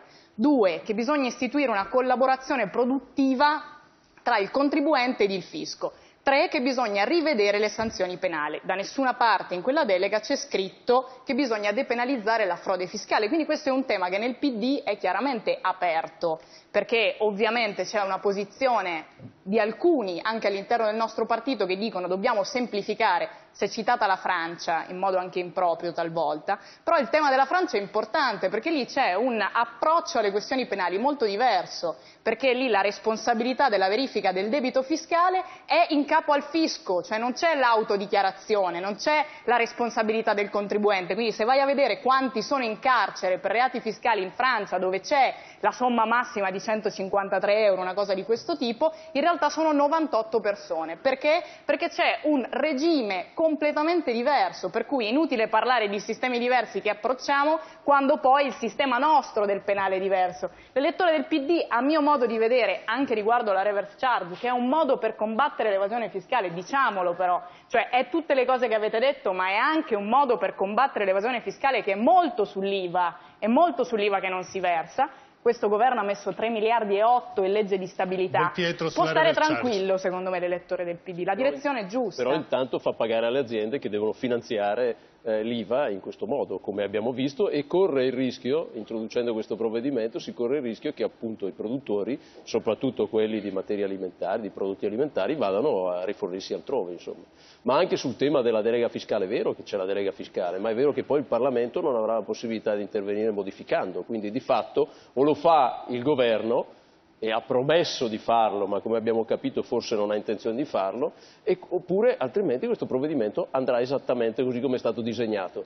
E questo è il vero tema, cioè il tema che su un argomento come questo non c'è stata alcuna discussione, perché noi abbiamo visto che è stato varato il 24 di dicembre con un decreto, con molta fretta, senza alcuna preparazione, tanto è vero che persino gli stessi ministri non ne, non Pietro, erano la delega fiscale è un po' vecchia, forse il ministro Lupi glielo potrà dire, ma scusi, l'attuazione la sta per scadere. fiscale sì. Sta per il scadere, quindi il provvedimento decreto certo, serve si poteva fare anche prima, vero? Si poteva C'è fare stato prima, un ma anno forse per fretta farlo è bisognava aspettare Diciamo, la il pomeriggio, il di pomeriggio del Tremonti, 24 dicembre con un documento che i ministri si non avevano poteva letto. fare prima, siamo d'accordo, Ah, sul fatto che c'era con i fretta, ministri che non c'era l'avevano fretta, letto, si quindi l'hanno fatto non credo, i ministri Aspettate, perché vi faccio vedere Eh, un questo altro è elemento della è fiscalità. Si chiamano i minimi dell'IVA. Ce ne parla Gilles de.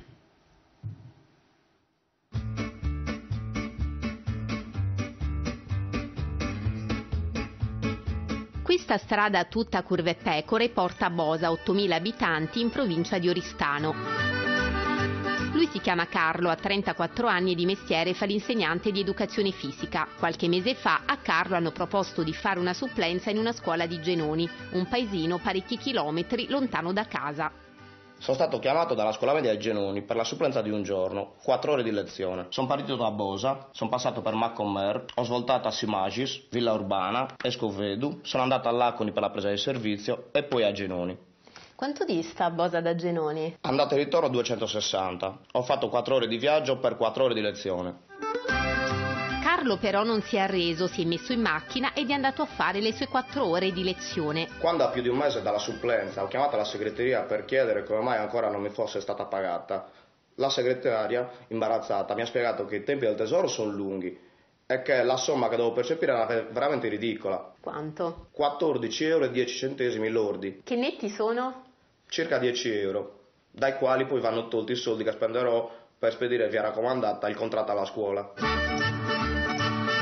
E ora Carlo è di nuovo in viaggio, altra supplenza, altri chilometri, questa volta a Meana Sardo.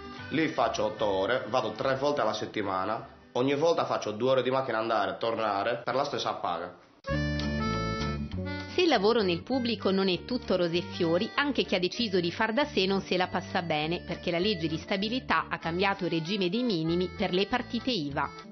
Prima si pagava un'imposta sostitutiva del 5%, il limite massimo di ricavi era 30.000 euro l'anno e potevo rimanerci 5 anni e fino ai 35 d'età. Oggi non ci sono più limiti di tempo, ma l'imposta è triplicata al 15, mentre la soglia di reddito cambia in base all'attività. E chi ci è andato peggio sono i liberi professionisti, per loro è stata abbassata a 15.000 euro. Chi decide di entrare dal 1 gennaio 2015 in questo regime generalmente paga sempre maggiori tasse rispetto a quelle che pagherebbe normalmente. Conviene il regime ordinario solamente per quelle attività che possono superare i 35.000 euro cominciano ad esserci dei timidi benefici. E anche se il governo ha promesso che cambierà le norme sui minimi, Lucrezia e Ilaria si stanno già facendo i conti. Loro hanno aperto la partita IVA e lavorano come wedding planner, organizzano matrimoni. Noi abbiamo la partita IVA al regime dei minimi, quindi con la tassazione al 5%. E quando questa ci scadrà abbiamo fatto un po' di conti e l'idea di passare a quella del 15% in realtà non ci conviene molto. Ci saranno da pagare all'incirca 500 euro in più all'anno, tant'è che potrebbe convenirci eh, rimanere alla, alla tassazione ordinaria. Questo regime delude proprio tutte quelle persone che si vogliono mettere in gioco, che con entusiasmo cercano di inventarsi nuove attività. Pochi minuti perché abbiamo bisogno di poca pubblicità, ma poi ripartiamo dai minimi e dalle pensioni. Pochi minuti.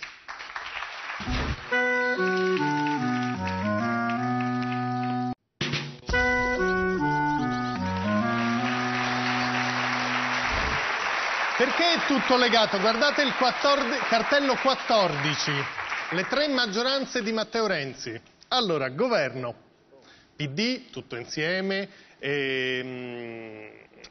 ehm, AP non saprei dare un nome al momento. Area Popolare. Area Popolare, Nuovo centrodestra. Ecco, vede, sì, per fortuna parte di AP è qui. Poi Scelta Civica più altri, 394 voti alla Camera, 179 al Senato. Per le riforme PD senza dissidenti più Forza Italia, 434, comunque un'altra maggioranza. Quella del Quirinale è il PD unito più SEL, tre maggioranze e i tempi che si avvicinano non sono semplici perché guardate ad esempio cartello 15, il Job Act, i prossimi prossime tappe. Allora, nuovo articolo 18 e nuova ASPI, già barati al governo, a fine febbraio è prevista la firma del Quirinale, sfoltimento dei contratti, incentivi per assunzioni imprese, tutela della maternità, varo previsto nel Consiglio dei Ministri, questo mitico del 20 febbraio. Nuova agenzia per l'occupazione, riordino cassa integrazione, controlli a distanza, ancora da varare e a questo si aggiunge, cartello 13, che i pensionati sanno bene che pensioni più magre inizio anno. Perché? Perché sono stati decurtati gli assegni di gennaio e febbraio, 12 euro in meno ogni 1000 euro di pensione, per il conguaglio sulla rivalutazione, perché quando l'inflazione sale viene rivalutata in positivo. Se, come in questo periodo, c'è meno inflazione di quella che è stata prevista, vengono tagliate le pensioni. E allora, e allora, è Gilles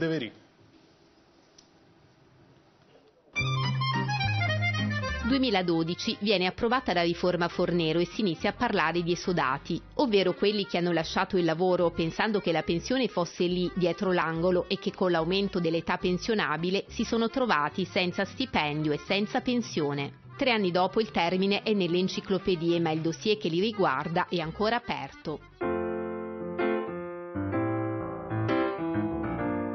Antonio lavorava in una fabbrica di Porto Marghera, ora suona la tastiera, guarda il calendario e aspetta. Io sarei dovuto andare in pensione dopo aver fatto tutti i conteggi dall'1-1-2014. E adesso invece quando andrà in pensione? Non lo so. Anche Fabio si è trovato senza via d'uscita. Lui aveva firmato un accordo con la sua azienda. Pensava di andare in pensione pochi mesi dopo e invece... Con la manovra Fornero questa, il sistema delle quote è stato cancellato, quindi io ad oggi posso andare in pensione quando avrò 66 anni e 11 mesi, quindi a fine 2020. Mia moglie lavora per fortuna e quindi abbiamo almeno uno stipendio a casa arriva e poi stiamo erodendo quei risparmi che avevamo messo da parte che nei nostri piani dovevano essere utilizzati per dare una mano per il futuro del nostro figlio. Questa lavoricchia ma non vende niente, questa qua è chiusa. Qui era un indotto 5.000 persone che lavoravano, saranno 1.500 quelle che ci sono rimaste adesso. La fabbrica di ceramiche in cui lavorava Mario ha chiuso negli anni della crisi e dal 2012 lui è in mobilità. Tra qualche mese non avrà più nemmeno quella, ma non potrà neppure andare in pensione. Io adesso prendo 800 euro di mobilità Vivere con 800 euro è difficile. La paura mia è quella, cioè che io finisce adesso a fine anno la mobilità, quel piccolo gruzzoletto che avevo da parte l'ho finito. Occorrono attualmente 42 anni e 10 mesi e non ho coperture. La legge Fornero ci ha non penalizzato di più. Io ho 61 anni, Oh, se vado a chiedere lavoro mi dicono no, sei vecchio, però per andare in pensione sono troppo giovane.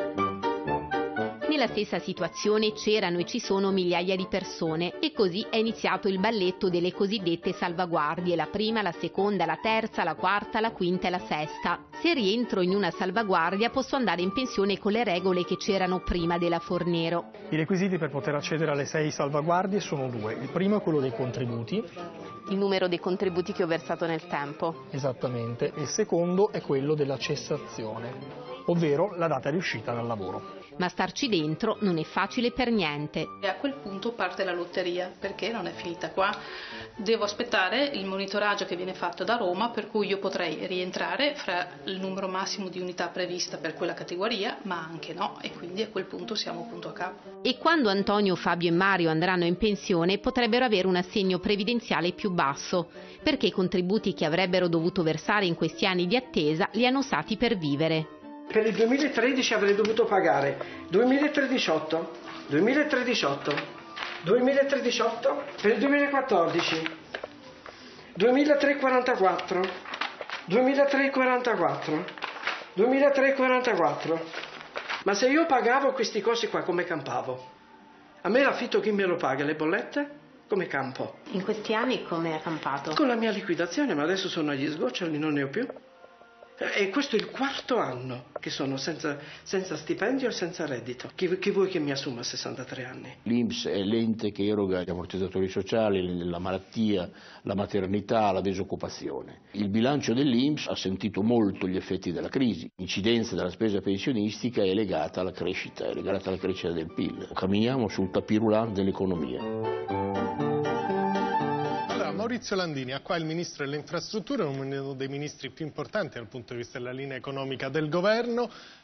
Prossimi, nelle prossime settimane, nei prossimi giorni, fisco, lavoro e pensioni. Sulle pensioni credo che bisognerebbe rimettere mano a ciò che è stato fatto. Quella non è una riforma, quella è stata fatta per far quadrare dei conti. Siamo il paese che ha l'età pensionabile più alta d'Europa, siamo il paese che ha cancellato le pensioni d'anzianità con la storia che l'aspettativa di vita è aumentata, si sono cancellate tutte le differenze, non è vero, dipende dal lavoro che fai e sei di fronte al fatto che questa riforma non ha affrontato i nodi, quindi la prima è ridurre l'età pensionabile, anche perché è aumentata la disoccupazione giovanile anche per questo. Secondo, ripristinare delle pensioni che riconoscono la gravità dei lavori, poi bisogna affrontare le diversità, perché quando sentivo prima il bilancio dell'Inps andiamo a vedere quali sono i fondi che sono in perdita, perché se tu prendi quelli dei lavoratori dipendenti e quelli dei lavoratori precari non sono in perdita. Tu hai in perdita i fondi dei dirigenti di impresa, che sono tra quelli che perdono maggiormente, che prendono le pensioni più alte, hanno il fondo in perdita e sono entrati in IMSS, così loro le, le, le pensioni gliele pagano gli altri.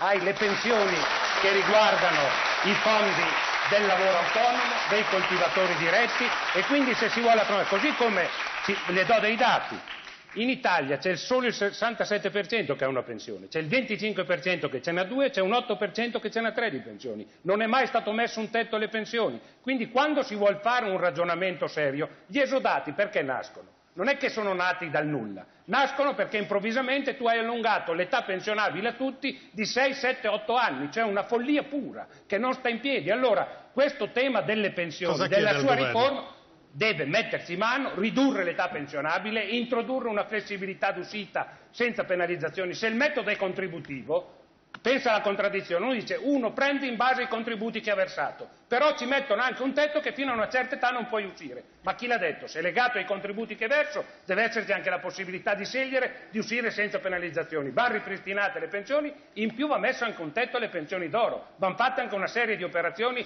che diano il senso molto Landini. concreto di intervenire. Lei sa che ora il grosso dello scontro politico, soprattutto i problemi all'interno della maggioranza che verranno dalla sinistra del PD, ci sarà sul Job Act, che è uno degli elementi su cui più si è qualificata la linea Lei politica m'aveva di NCD. Ora le sto facendo fare un riassuntone e poi parliamo argomento per argomento. Parli con il ministro Lupi del Job Act. A parte che l'hanno già votato e le commissioni hanno solo un potere consultivo e quindi mi sembra che stiano ragionando semplicemente per fare i decreti. Di modifiche lì non mi pare che ce ne siano se non qualche buon virgola. intuito. Eh? È un buon intuito. intuito. Buon Mi sono informato prima per evitare di dire cose inesatte. Ecco. Io penso che sia una pessima riforma, perché questa idea di cancellare lo statuto dei lavoratori vuol dire mercificare i rapporti di lavoro. Io faccio un esempio, si dice che adesso con questo Job Act ci sarà l'assunzione a tutele progressive, che è una presa in giro, perché l'assunzione a tempo indeterminato determinerà che tu le tutele non ce le hai. Cosa succede a questi lavoratori? Avrai le imprese che assumono, gli danno fino a 8.000 euro di soldi di sgravi e questo lavoratore si troverà che se per caso viene licenziato, mentre adesso ci voleva una giusta causa, se io fossi licenziato e non c'è una giusta causa, vado in tribunale, dicono che ho ragione, che il licenziamento era falso, ciò che l'azienda ho diritto a ritornare al posto di lavoro. D'ora in avanti, per tutti quelli nuovi assunti che con questa forma, pagata coi soldi nostri, se per caso l'imprenditore lo licenzia, anche se non è giusto, anche se il giudice dicesse l'imprenditore ha torto, il lavoratore viene lasciato a casa e gli danno un po' di soldi. E addirittura cosa succede? Che a quel punto lì nell'impegno si dice che allora deve essere lo Stato che ricolloca quel lavoratore lì. Io la trovo una follia pura, perché non solo tu mercifichi il rapporto di lavoro, ma addirittura un imprenditore che ha licenziato ingiustamente e quindi che non poteva farlo, anziché riassumerlo, lasci a casa e poi il problema di ricollocare i lavoratori viene caricato sulla collettività generale. Maurizio Lupi. follia, quindi non mi Allora, partiamo da qua, dal lavoro, dopo la Scania. Partiamo dal lavoro. Landini dice un pezzo solo. c'è un aspetto del discorso di Landini Solo che, una, che suona male. eh, Aspetti, aspetti, perché c'è un anche aspetto che suona male, il fatto che uno abbia degli sgravi, quindi magari con quegli sgravi metta da parte i soldi per, re- per dare i soldi che darà al lavoratore quando lo manderà via. Quindi è il governo No, anzi, paga guadagnano, sia quelli che l'assunzione prende che gli che l'indennizzo. Perché oggi Lupi. può licenziare per due lire. Sempre colpa del governo. Ho ascoltato con molta attenzione le osservazioni fatte adesso e durante il periodo precedente. Lavoro. Innanzitutto, eh, a proposito del contributo determinante della presenza del nuovo centro-est al governo, che ha bloccato una parte della sinistra del Partito Democratico, noi partiamo da un principio banalissimo e poi vediamo i risultati. Il lavoro lo fa l'impresa. Dobbiamo mettere nelle condizioni l'impresa di tornare a essere sul mercato e a produrre. Non ho mai visto, credo Leandini, un imprenditore nella mia vita, non l'ho mai conosciuto, piccolo, grande e medio, che pensa che non sia una grande risorsa il lavoratore che ha. Io conosco decine, centinaia di imprenditori in Brianza dove sono che prima di licenziare una persona che è la sua risorsa fanno, ci impiegano 20 anni, 30 anni, sono lì perché il punto è che l'impresa si regge sul primo capitale che ha che è il capitale umano. Allora, i primi risultati del Jobs Act, che sono fatto di due temi, un decreto legge che è stato fatto e adesso il decreti, la legge delega e i decreti delegati sono nel mese di dicembre.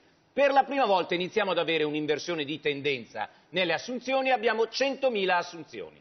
Secondo dato importante, per la prima volta nel nostro paese, eh, per la prima volta, scusate, io guardo i dati, per la prima volta nel nostro paese, nel aspettare. 2015, scusa, però io ho ascoltato, poi, poi potete anche contraddirmi, Non la sto per la prima volta nel No, 2015 Feltri diceva che non diminuisce ci sono state queste assunzioni? No, dico che gli effetti del Jobs Act si No, no, perché voi vi state gennaio. Non è vero, perché vi state sbagliando. Alziamo il Perdonate. volume che se no non li loro dicono come fa ad essere l'effetto del Jobs Act se entra in vigore da gennaio?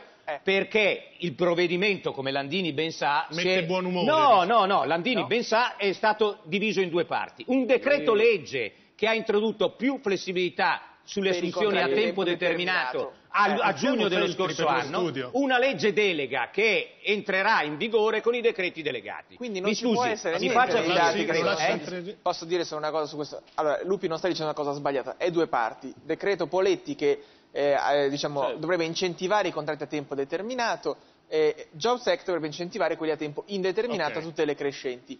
Quelli eh, del decreto Poletti non sono i posti di lavoro stabili, quindi lì si misura soltanto se uno passa da co-co-co a tempo determinato, che è un piccolo miglioramento, ma la vera misura è a gennaio se le imprese avranno aspettato, hanno assunto poco tra ottobre e novembre e Aspettando dicembre i nuovi aspettando la riforma. Potremmo fare discussioni quando- perché nel decreto solo- dice- no, ma solo per- no, sui dati. Quando, sono quando i dati erano cattivi a novembre, il governo ha detto perché le imprese stanno aspettando il Jobs Act. Quando a dicembre erano migliorati, hanno detto no, hanno, hanno assunto già in anticipo sulla fiducia del Jobs Act. Quindi a questo punto aspettiamo i dati di gennaio. Lei mi e ha fatto ascoltare, posso Prego. rispondere? Innanzitutto guardiamo un dato positivo. Per la prima volta, per la prima volta c'è un'inversione di tendenza sulle assunzioni, colpa mia, merito mio, colpa sua, merito suo. che non è Parto da un dato oggettivo, poi potremo Vabbè. discutere a lungo sul decreto di giugno che lei sa non è solo il tema del passaggio a tempo determinato più flessibilità, c'è il tema inutile discutere qui. Seconda cosa nel 2015 lo diceva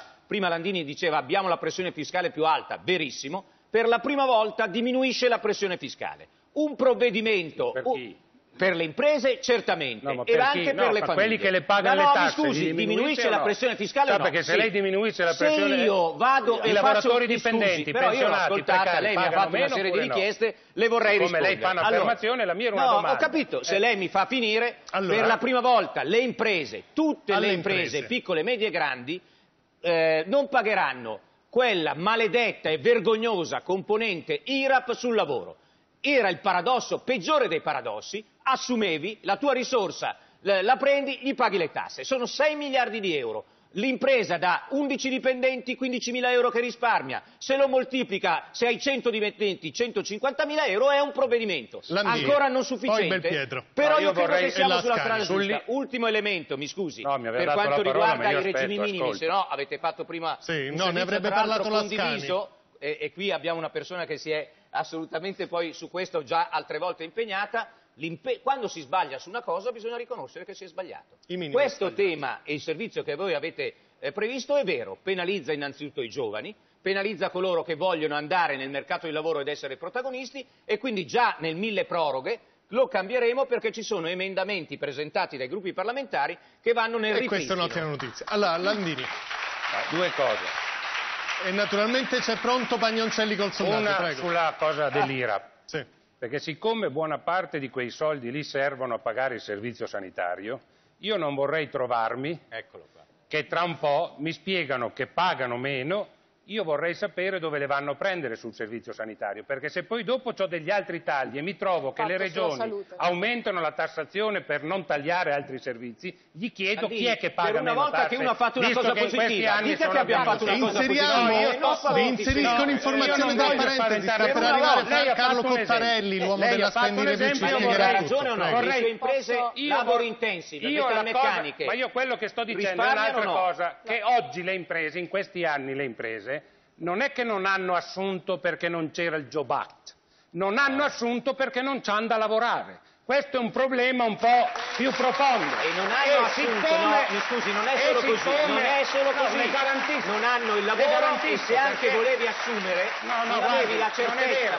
Come no? Beh, Guardi, cioè, guardi. io conosco delle imprese, magari No, ma guardi, altre. il progetto giovani o il fatto che il governo Letta aveva fatto un provvedimento che dava soldi per chi assumevano, uno che va a vedere. l'antecedente del progetto giovani. Che un'azienda, anche se gli dai dei soldi, ma del lavoro non ce n'ha, non assume. Oppure, e oggi noi se siamo ne hai di bisogno fatto, e se fra tre anni non è- sei in una situazione di Aspetta, crisi economica e lo vuoi licenziare, non lo Oggi puoi fare. il problema- Jobs Act adesso il- ti permette no, di oggi- farlo. Adesso si può licenziare se si è in crisi, prego. Benissimo, oggi si può licenziare tra l'altro si mancano riduzione degli ammortizzatori sociali.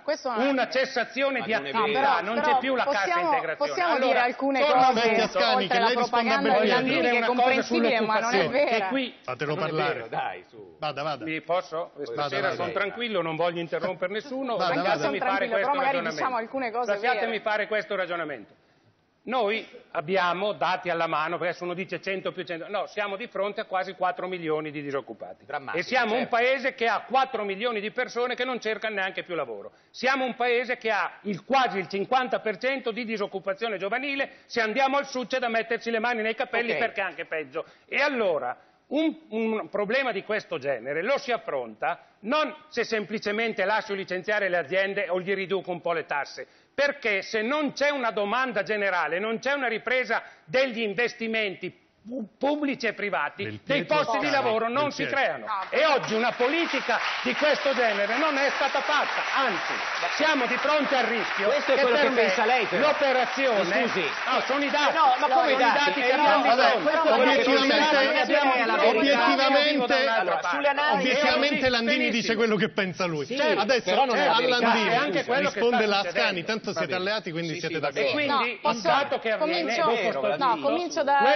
infatti aumenta semplicemente la precarietà. La Siamo tutti più precari. Dall'inizio delle cose che ha detto, perché giustamente lei dice quello che pensa, però ci sono delle cose non del tutto esatte. Intanto in questa legge di stabilità c'è il tetto alle penso, pensioni. Quello, no, no, no su quello che, penso, ha detto oggettivamente. Davvero, eh. Quello che ecco. dice Vuole correggere alcuni passaggi del suo Il tetto alle pensioni per la prima volta c'è in questa legge di stabilità, lei sicuramente lo saprà, è stata una vittoria anche del Partito Democratico che l'ha voluto. Seconda cosa, non, penalizzazioni a 62 anni. No, Lei sa, di nuovo, in questa legge di stabilità, chi esce che non ha ancora 62 anni ma 41 anni e 6 mesi non avrà le penalizzazioni, altra vittoria del Partito Democratico altra vittoria del Partito Democratico, però diciamole perché lei dice le cose a metà giustamente, invece no, io dico che abbiamo le aziende che ci dicono che abbiamo detto, abbiamo messo all'Inps Boeri che le faccia l'elenco delle imprese che ci stanno dicendo che non la lasci parlare, perché se no si parla di nulla, aspetti, eh, abbiamo messo all'Inps Boeri che lei sicuramente conosce, che ha certo, fatto delle sue principali bandiere,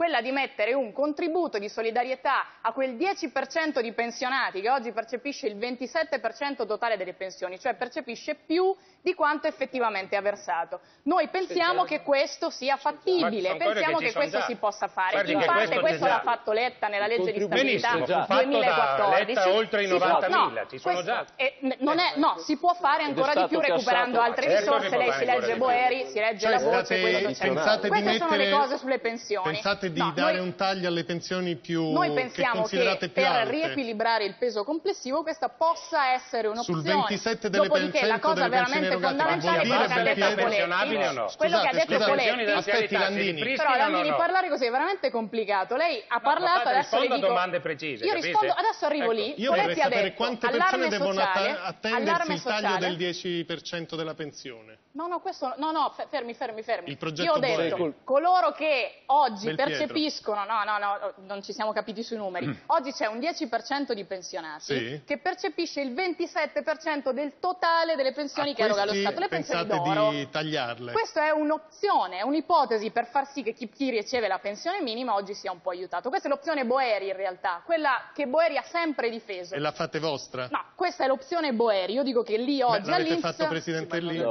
dico che oggi all'Inps c'è quella persona lì. Quindi quello che dice Landini, questo governo, diciamo che non l'ha del tutto strano. Seconda cosa, Poletti ha detto una cosa chiara ed io spero che arrivi perché quando si è parlato di riforma Fornero anche a sproposito per il referendum della Lega ha detto che la flessibilità è una cosa che deve essere presa in considerazione perché rischiamo l'allarme sociale io credo che questo sia chiaro a tutti e quindi credo che quella flessibilità... Sì, basta, Damiano pensi... parla di quota 100, cioè che la somma sì, tra basta, contributi e anzianità che uno deve anticipare 100. lui quello che prende, ho già visto quelle proposte lì. Eh. Questo è quello cioè, sulle pensioni. Mi Posso dire una cosa sul Jobs Act a proposito delle... No, parlare così è veramente difficile. Jobs Act il licenziamento discriminatorio resta, il licenziamento disciplinare per la non sussistenza del fatto resta, cioè okay, quando uno cosa... viene licenziato per motivi discriminatori o perché il fatto non sussiste di viene reintegrato sul posto di lavoro. Quando la bugie. CGL dice che questo non è vero, dice è, una falsità. Poi parliamo dei questa minimi magari, perché l'altra cosa sono i minimi. Però diciamo la verità. Pura. No, no allora, c'è scritto nel decreto delegato, c'è scritto. Il tema delle pensioni, a parte che eh, l'addizionale già è stata ripristinata due volte, volte. Nella prima volta è stata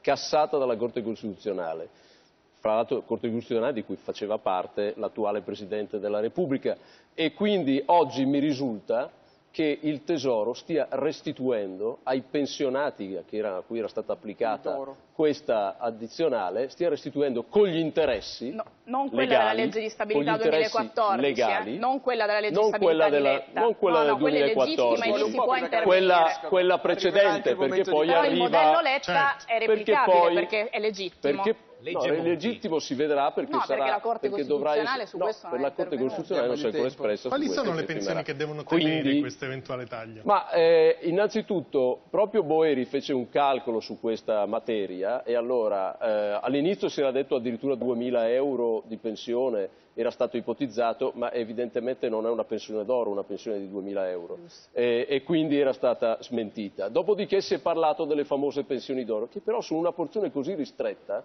che lo stesso Boeri fece dei calcoli e non serve a niente per Devono pagare finanziare... tutti, devono pagare un po' tutti. Devono pagare un po' tutti, perché altrimenti non si raccolgono dei soldi sufficientemente no? cioè per- necessari per finanziare le pensioni al minimo.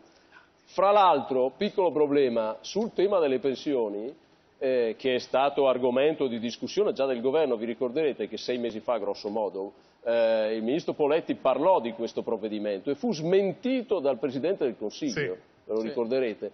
Ma ritorniamo ai grandi numeri. Eh, su 16 milioni e mezzo di pensionati ci sono circa 8 milioni e mezzo che non hanno raggiunto il livello per ricevere la pensione, non hanno i contributi minimi, addirittura 5 milioni sono praticamente pensioni sociali. Quindi vuol dire che a carico dell'Inps c'è una montagna di persone che non hanno pagato la pensione. Sì, ma Questa dobbiamo vedere le categorie, non diciamo la Pagliucelli, gente- io non dico- No, andiamo a Io vedere guardo- il sondaggio. sondaggio. Eh, ma se ci In sono qualche 5 milioni che non hanno pagato, no, ma come sono anche 5 Orlando, milioni che questi non hanno giorni, pagato, di Cristina andiamo a Bombino. vedere i fondi che sono in io non- perdita. ma io non E dico- non facciamo un discorso.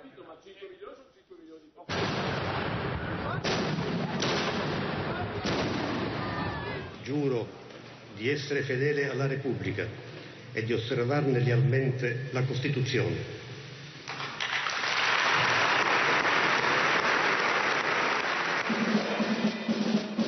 Mattarella è presidente, Renzi sprizza felicità. Contagiosa. Infatti qualcuno fa notare l'anagramma di Mattarella è Matteo si rallegra. Non tutto è andato liscio da subito però. Enzo Iacchetti, Ezio Greggio, Barbara D'Urso, Luigi Faramonti detto Gigino.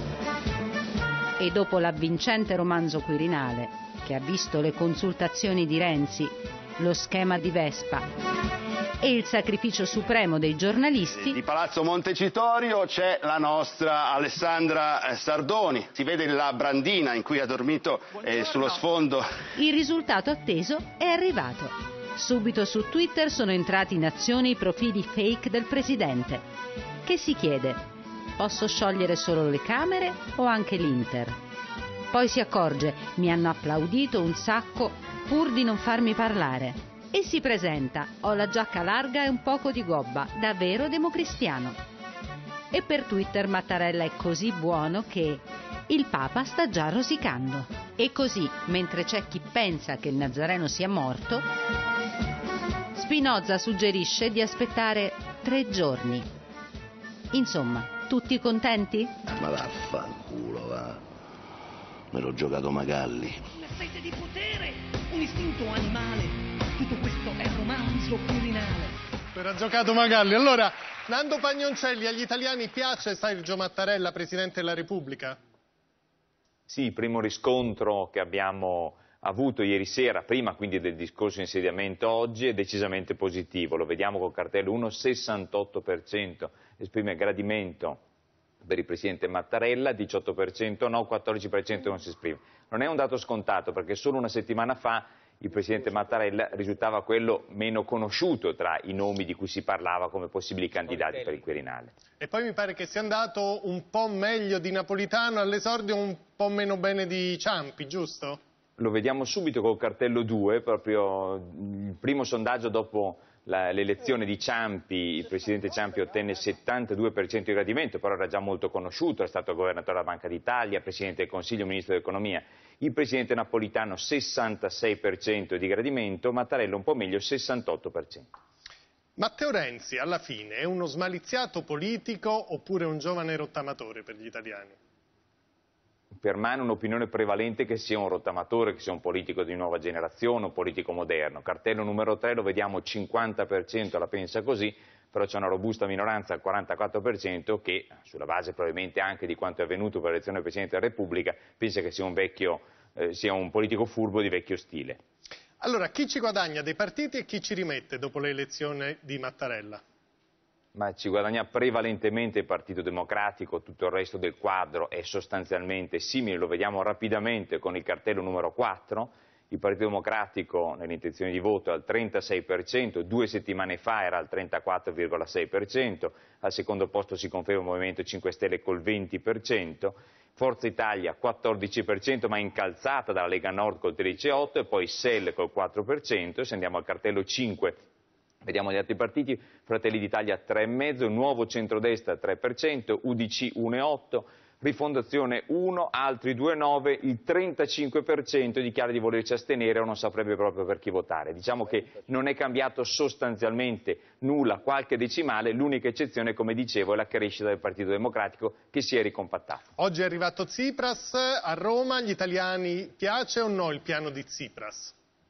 Ma l'annuncio che ha fatto di voler rivedere diciamo, le regole europee e soprattutto di ristrutturare il debito in realtà suscita reazioni abbastanza controverse. Col cartello 6 lo vediamo, tenuto conto del fatto che comunque anche l'Italia è creditrice nei confronti della, della, Grecia per circa 40 miliardi, eh, indubbiamente diciamo, tutto ciò suscita reazioni negative. Il 44% ritiene che sia scorretto rinegoziare il debito, soprattutto appunto perché deve restituire soldi anche al nostro paese che non versa certo in buone condizioni, 23% pensa che invece fa bene, dovrebbe farlo anche l'Italia, tentativo di rinegoziare il debito e ridefinire le regole comunitarie, 23% invece pensa che sia soltanto uno slogan che poi alla fine deciderà la Troica. Allora, riprendendo le fila del nostro discorso, nei prossimi giorni ci saranno due temi fondamentalmente che detteranno le giornate politiche. Il primo è quello della legalità e ora parleremo con Sergio Cofferati e Giuliano Ferrara proprio di legalità. Poi c'è il tema dell'economia e verrà Carlo Cottarelli a spiegarci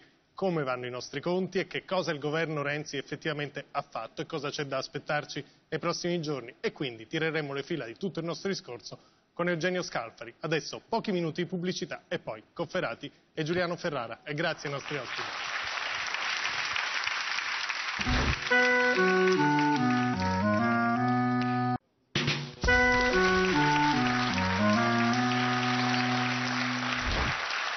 Adesso parleremo di legalità con Sergio Cofferati e Giuliano Ferrara, poi di politica con Eugenio Scalfari, quindi di economia con Carlo Cottarelli. Insomma, tutto quello che bisogna sapere, ma per parlare di legalità con Cofferati e Ferrara dobbiamo partire dal capire cos'è successo e cosa sta succedendo in Liguria. Simone Caro lei.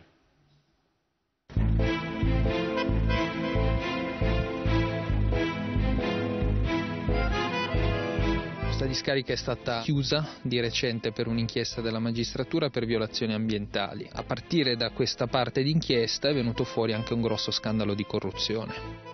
Corruzione in cambio di appalti. L'inchiesta Amiu è solo una delle ultime vicende giudiziarie che hanno riguardato la Liguria. Pochi giorni fa sono stati concessi gli arresti domiciliari a Gino e Vincenzo Mamone, arrestati nell'ambito di questa indagine. Hanno dato i domiciliari a Mamone? Non so neanche chi sia.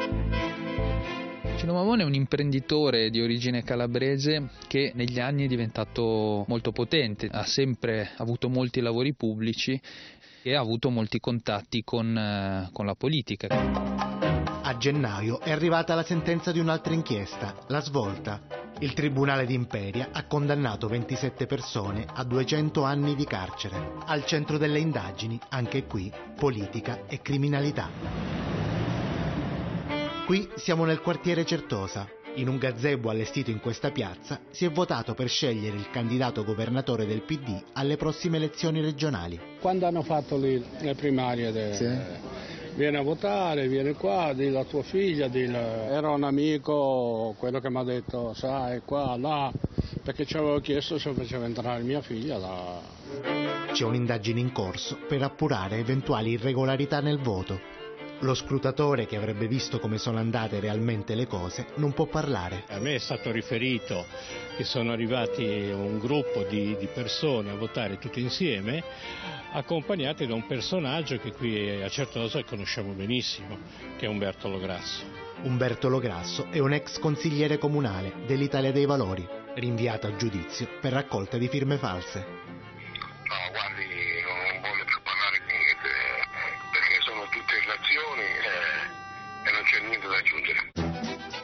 Le polemiche riguardo il corretto svolgimento delle primarie hanno coinvolto due esponenti del nuovo centrodestra, Alessio Saso e Eugenio Minasso. Alessio Saso è indagato per eh, promesse elettorali. Eh, l'accusa è di aver chiesto voti a un boss dell'Andrangheta che poi è stato condannato a 20 anni. Questa è una pagina molto dolorosa della mia vita perché io non avevo mai ricevuto nessun avviso di garanzia. C'erano anche delle intercettazioni, parlava con un boss dell'Andrangheta.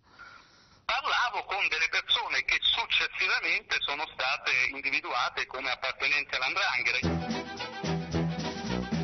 Eugenio Minasso, anche lui nel centrodestra, è stato eletto in Parlamento. La cosa più imbarazzante che emergeva su di lui, che non ha mai portato a debiti penali, era una foto che lo ritraeva abbracciato con eh, uno dei boss della famiglia Pellegrino, altra famiglia dell'Andrangheta eh, di Bordighera. Sono la prima ad aver chiesto chiarezza per quanto riguarda il risultato delle primarie. So che ci sono in corso delle verifiche da parte della magistratura e mi auguro che venga fatta quanto prima chiarezza.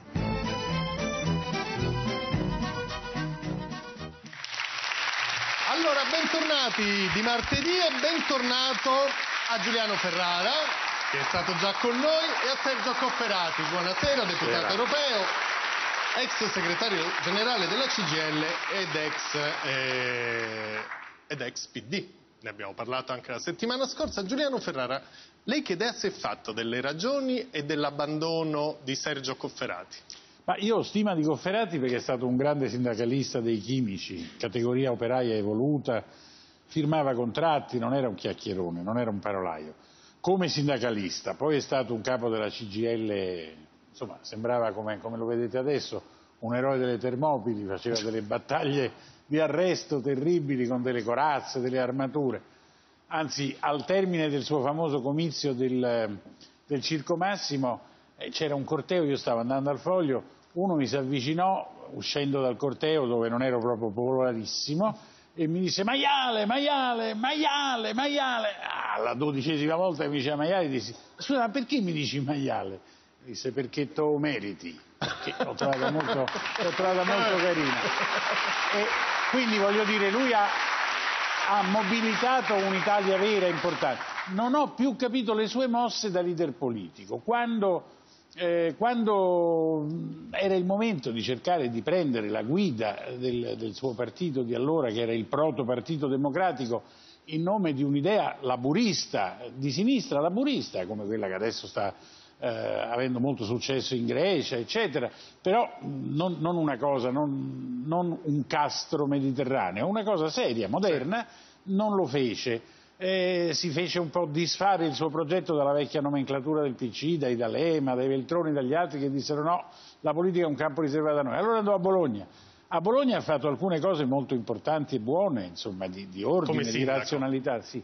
Però poi si è innamorato, è andato a Genova, ha avuto un figlio, e allora poi dopo a Genova è rimasto così, poi dopo ha fatto il deputato europeo, poi adesso voleva fare il presidente della regione, mi disorienta, diciamo, la stima resta ma il disorientamento è enorme. Allora Sergio Cofferati, eh, arriveremo poi al, al, PD di oggi, al rapporto con Matteo Renzi, ai temi della legalità, però dice Ferrara politicamente si è perso. Ma io ho fatto le cose che ritenevo in quel momento, nel momento dato, utili per la parte che rappresentavo, per le persone che avevano fiducia in me. Ho sempre pensato che la politica sia servizio. Non ho concorso a dirigere il PDS e poi il DS all'epoca perché era utile, posso aver sbagliato, ma secondo me era utile che io facessi il segretario della CGL. I tempi non collimavano. Ma c'è una perdita di sintonia tra la politica espressa da Sergio Cofferati e la politica del PD di Renzi o no?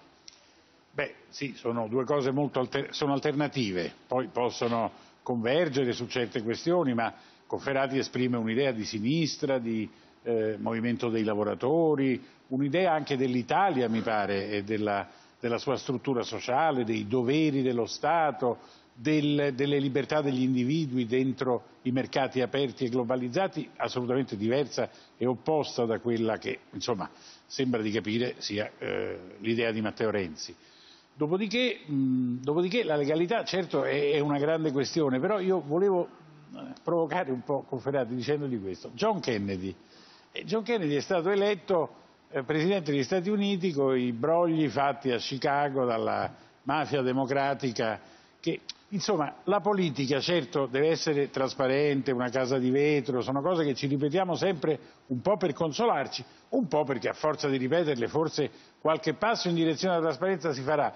Ma insomma che qualche cinese eh, e qualche mh, elettore improprio si rechi ai seggi può succedere. Eh, insomma, non, non, starei a farne un casino così grosso, addirittura uscire dal partito, ma uno fa una battaglia, ci sono i probiviri, le commissioni, le cose, eccetera. E poi la volta prossima, insomma, la volta prossima ti organizzi meglio, ecco Sergio. No, no, guarda, adesso...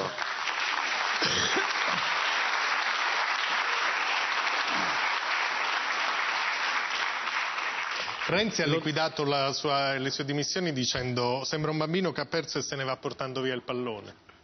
No, con tutto il rispetto dei miei conterranei cinesi, il tema non è quello, eh. Il tema non è il voto pagato, non il voto libero degli stranieri. Che gli stranieri vadano a votare va bene.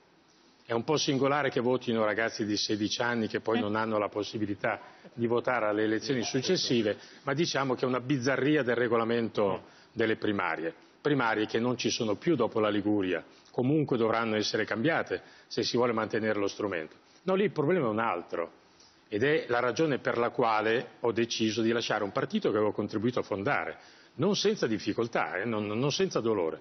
I distacchi quando si cambia strada hanno sempre un peso. Il problema che è scoppiato in Liguria in maniera clamorosa e non è finita il riverbero di questo problema, riguarda in qualche modo la legalità.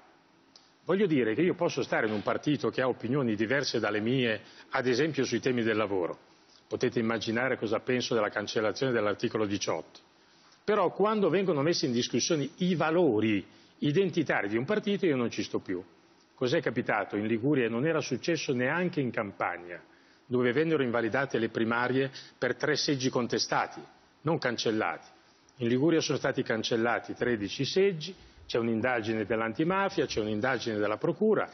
È oramai evidente che c'è un rapporto tra il mio ex partito e degli interlocutori del centrodestra che sono a loro volta in rapporto con la criminalità organizzata. C'è una sentenza, c'è una sentenza del Tribunale di, di Imperia su un processo chiamato La Svolta, che sancisce la condanna di 27 persone a oltre 200 anni di prigione per reati di mafia. Nel testo scritto da quel tribunale è riportato che alcuni esponenti politici sono stati costantemente in rapporto con quella criminalità, hanno chiesto cioè voti. Kennedy non credo in quella forma, in una forma assolutamente inedita, cene e voti. Sono due persone, rappresentanti in Liguria del partito del nuovo centrodestra, ex fascisti non pentiti dico sempre, ma questo è irrilevante. Oggi sono in relazione con la criminalità organizzata. L'hanno scritto i magistrati. Il mio, partito, mio ex partito interloquisce con queste persone che hanno offerto i loro voti e dato i loro voti alla mia concorrente delle primarie, per fare poi con lei un governo. Non è un mio sospetto, lo hanno detto pubblicamente. È la politica o se, ha un Se il rapporto è questo tra il PD o alcuni dirigenti del PD, adesso non voglio essere ingeneroso, alcuni dirigenti del PD, persone che sono in rapporto con la criminalità organizzata e nessuno dice nulla, beh, io a quel punto non ci sto, perché viene meno uno dei principi sui quali Ferrara, io non, non, non, conosco la situazione in loco, ma ovviamente devo, devo fare fiducia alle, al racconto di Sergio Cofferati. Eh, il punto però, secondo me, non è che lui si sia arrabbiato, questo è comprensibile ed è una rabbia politica mh, motivata almeno con argomenti molto solidi. Il punto è perché portare la battaglia fuori, perché rompere, è una, è una, è una, è una storia strana, perché uno fa la rivoluzione dentro il PD, chiede di essere sentito, impone... Però se se ne va del PD Eh, suona va- che c'è anche dell'altro, è questo No, che dice no, lei. beh, quella però- frase di Renzi è eccessiva, quella cosa va via come Cioè, non è che è il arrivato che si porta che il sia ormai consunto un rapporto col PD. No, l'osservazione di, di- di Giuliano è legittima.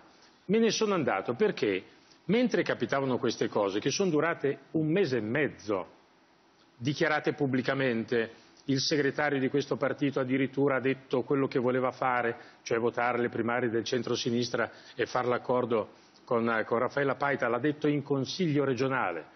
Io ho segnalato al Partito Democratico, nelle persone dei due vice segretari, quello che capitava. Giorno dopo giorno gli mandavo le fotocopie dei giornali liguri. Nessuno non è mai intervenuto. Anzi, nessuno mi ha mai risposto pubblicamente. Se qui siamo a parlare di questa cosa, cioè di come le primarie hanno perso natura, è esattamente perché c'è stato un fatto. Ce n'era uno altrettanto efficace da consumare dentro il partito? Secondo me no. Cofferati, mi dica una cosa, il PD avrà bisogno di voi o ormai basta che si guardi alla sua destra e ha delle, degli alleati più simili culturalmente senso, della sinistra che, che, lei sta Ma io penso che questo Paese abbia bisogno della sinistra, di una sinistra di governo, di una sinistra ragionevole, ma dove i valori fondativi di quelle organizzazioni, di un partito futuro, di quel che sarà, siano quelli della nostra storia. Una storia dove la solidarietà, il rapporto tra le persone, i, i valori che abbiamo ereditato e scritti nella Costituzione, dal risorgimento a, alla, a, alla, liberazione. Il PD non, non, si ritrova in questi valori, il PD di Matteo Renzi? Il, il PD è un, è un partito ondivago, è un partito ondivago perché alcuni valori li ripete, li indica, salvo poi non essere coerente. Io non ho mica chiesto l'annullamento delle primarie in Liguria, ho chiesto fermiamoci a discutere su quello che è successo. Nulla. Il nucleo della divisione però è politico. Ripeto, Renzi ha eh, deciso di giocare per sé, per il suo partito e per il Paese una carta di rinnovamento che ha come primo punto il cambio generazionale, il licenziamento di una vecchia nomenclatura politica, un confronto molto serrato con i sindacati eh, che lui considera in, per una larga parte anche una remora corporativa a fare delle riforme importanti e insomma questo è un nucleo politico diverso da quello a cui si faceva cenno prima e che va guardato naturalmente con rispetto, che è un'altra No, idea di Europa e d'Italia e che è quello di una sinistra diciamo antagonista rispetto ai meccanismi del sistema globalizzato. Sergio Cofferati? Ma io credo nella mia vita di non aver mai sposato tesi antagoniste, non me le sta attribuendo lui, anzi No, ha no. detto esattamente l'opposto. Penso che il riformismo sia la pratica più efficace che si debba adottare per avere una sinistra che rappresenti dei valori e degli interessi. Però bisogna ripartire dai valori. La definizione degli interessi e la politica sugli interessi da sola non basta. Troppe persone, soprattutto i giovani, non hanno più valori di riferimento. Io penso che lo sforzo da fare sia questo, non cominciare a pensare ci mettiamo assieme per fare chissà che cosa. Cominciamo a pensare quali sono i valori in una società moderna alla quale una forza che si dice di sinistra deve fare riferimento. Se riusciamo a farlo faremo dei passi in avanti. Sergio Cofferati, Giuliano Ferrara, noi abbiamo pochi minuti di pubblicità e poi ascoltiamo Eugenio Scalfari, pochi minuti.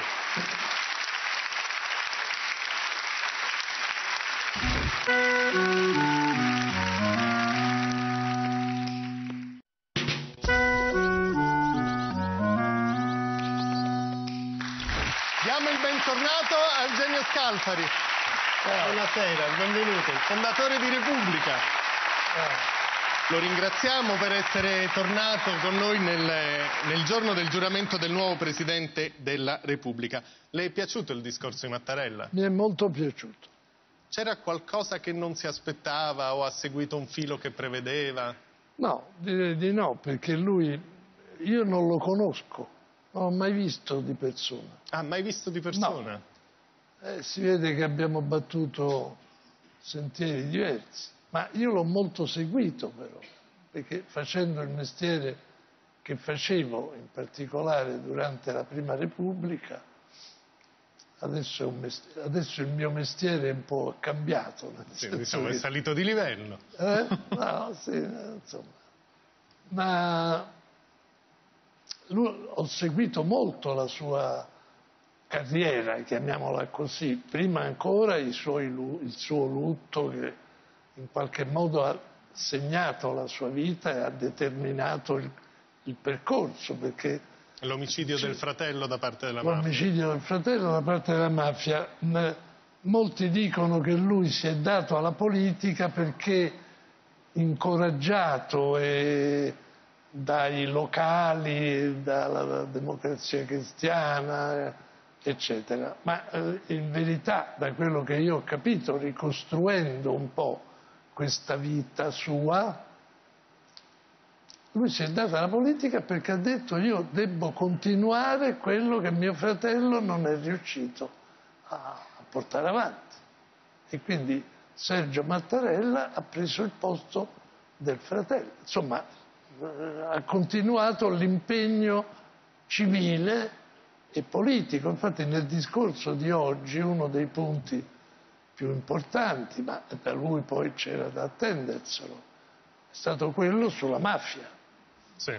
La mafia e le mafie, perché ai suoi tempi, quando lui cominciò, la mafia di, della Sicilia era la più forte di tutte. L'andrangheta, che adesso è quella forte, a quell'epoca era una serie di tribù, tribù nel senso che avevano un capo, che non avevano collegamenti con le altre ndrine, come si chiama. Invece la mafia era un vero la potere era, che occupava la, regione. L'Endrina non aveva la cupola. Lei che idea si è fatto di Mattarella come persona? Non conoscendolo direttamente, ma appunto seguendolo. Mattarella? Di Sergio Mattarella, il Presidente sì. della Repubblica, come persona. Che persona ah, è secondo persona. lei? Eh, come persona mi è più difficile dirlo perché io non, non lo conosco. Uh, ma eh, però è una persona estremamente gentile, mm. questo posso dirlo con certezza perché anche fatto una telefonata a Repubblica, al direttore, insomma, eh, ringraziandolo per l'attenzione, sai, uno che fa questo. Non dovuta certamente. Ma poi si vede, molto gentile. E anche nel, nel discorso lui non, non, ha dimenticato nessuno. Sì. Nessuno. Che il discorso è stato molto breve perché le cifre ufficiali sono che il discorso è durato 32 minuti interrotto da applausi. Sì, che sono e stati gli applausi sono stati 40. Sì. Ora, chi l'ha sentito, io l'ho sentito, i 32 minuti comprendono anche gli applausi, quindi gli applausi complessivi sono stati almeno 10 minuti, quindi lui ha parlato per poco più di 20 minuti. Quindi sapeva cosa voleva dire? Ma ha detto tutto. Sapeva cosa voleva dire. Senta, la porto un, eh, un passo indietro sull'elezione di Mattarella. Sì. Dunque, ha vinto davvero Renzi perché esistono due versioni. Una è quella che Renzi ha asfaltato tutti, ha fatto un nome, ha ricompattato il PD, ha spiazzato Berlusconi, Berlusconi è, è rotolato miseramente. La seconda versione è che Renzi in realtà abbia subito il nome di Mattarella, quindi una volta capito che non poteva mettere uno dei suoi ha cavalcato il nome che gli è stato dato dalla minoranza del partito, ma non lo sente suo. Lei di che opinione è? No. Eh, Renzi adesso dice, perché Renzi è un, un personaggio notevole, molto notevole, in questo caso in particolare ha dimostrato, ha fatto un capolavoro, come tutti scrivono, e ho scritto anch'io che di solito non sono molto tenero con Renzi, ma qui il capolavoro l'ha fatto. Io ho una terza versione, che mm. non è queste, queste due, e cioè Mattarella era uno dei nomi che Renzi aveva in mente. Non era il solo, ma era più importante. Allora lui ha avuto un incontro con i dissidenti del suo partito, i quali, io credo che lui lo sapesse questo, ma comunque io lo so, ma non sono il solo, mm-hmm. i quali avevano intenzione, se il nome fosse stato sgradito, di votare insieme a Grillo e ad altri spezzoni il nome di Prodi. Ah, Prodi. Per cui al primo, secondo e terzo c'era il nome di Prodi, che sarebbe cresciuto nel durante, Dopodiché al quarto, se, and- se fosse andato avanti questo progetto, si presentava un, un, un Prodi con 250-300 voti e era molto difficile che il Partito Democratico nel suo complesso non lo votasse e rifacesse i 101. No. Quindi Renzi avrebbe subito un presidente eh, indicato beh, sì. dai suoi avversari, diciamo. Eh, ecco. Allora l'incontro c'è stato e i dissidenti, chiamiamoli così, hanno detto, perché lui gli ha domandato, voi chi vorreste? E loro gli hanno detto, o Prodi o Mattarella. E lui gli ha detto, sempre secondo questa versione, avete altri nomi oltre questi due? No, solo questi due. Allora lui ha scelto Mattarella. Quindi ha scelto un nome fatto dalla minoranza. No, perché lui si è ce l'aveva conto... già in mente. Ok, però coincideva con Ma quello. c'erano al- un altro paio di nomi in ballottaggio. Ecco, eh, qui a, di martedì la Bonafè ha detto guardate che la minoranza del PD insieme a Berlusconi portavano Giuliano Amato. Lei ci crede che a questo nome? Assolutamente no. Non è vero, non No. è mai stato un nome. No. Senta, lei dice Mattarella era uno dei nomi che Renzi voleva. Diciamo. Ora, le faccio vedere dei cartelli di come Renzi ha eh, in passato trattato gli esponenti politici della generazione di Mattarella.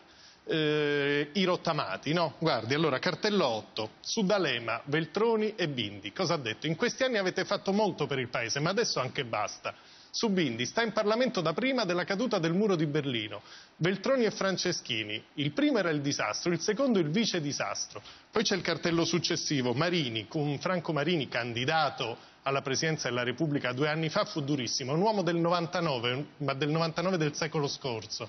La Finocchiaro, la ricordiamo per la spesa che fece all'Ikea con la scorta. Enrico Letta, via Letta se vogliamo uscire dalla palude.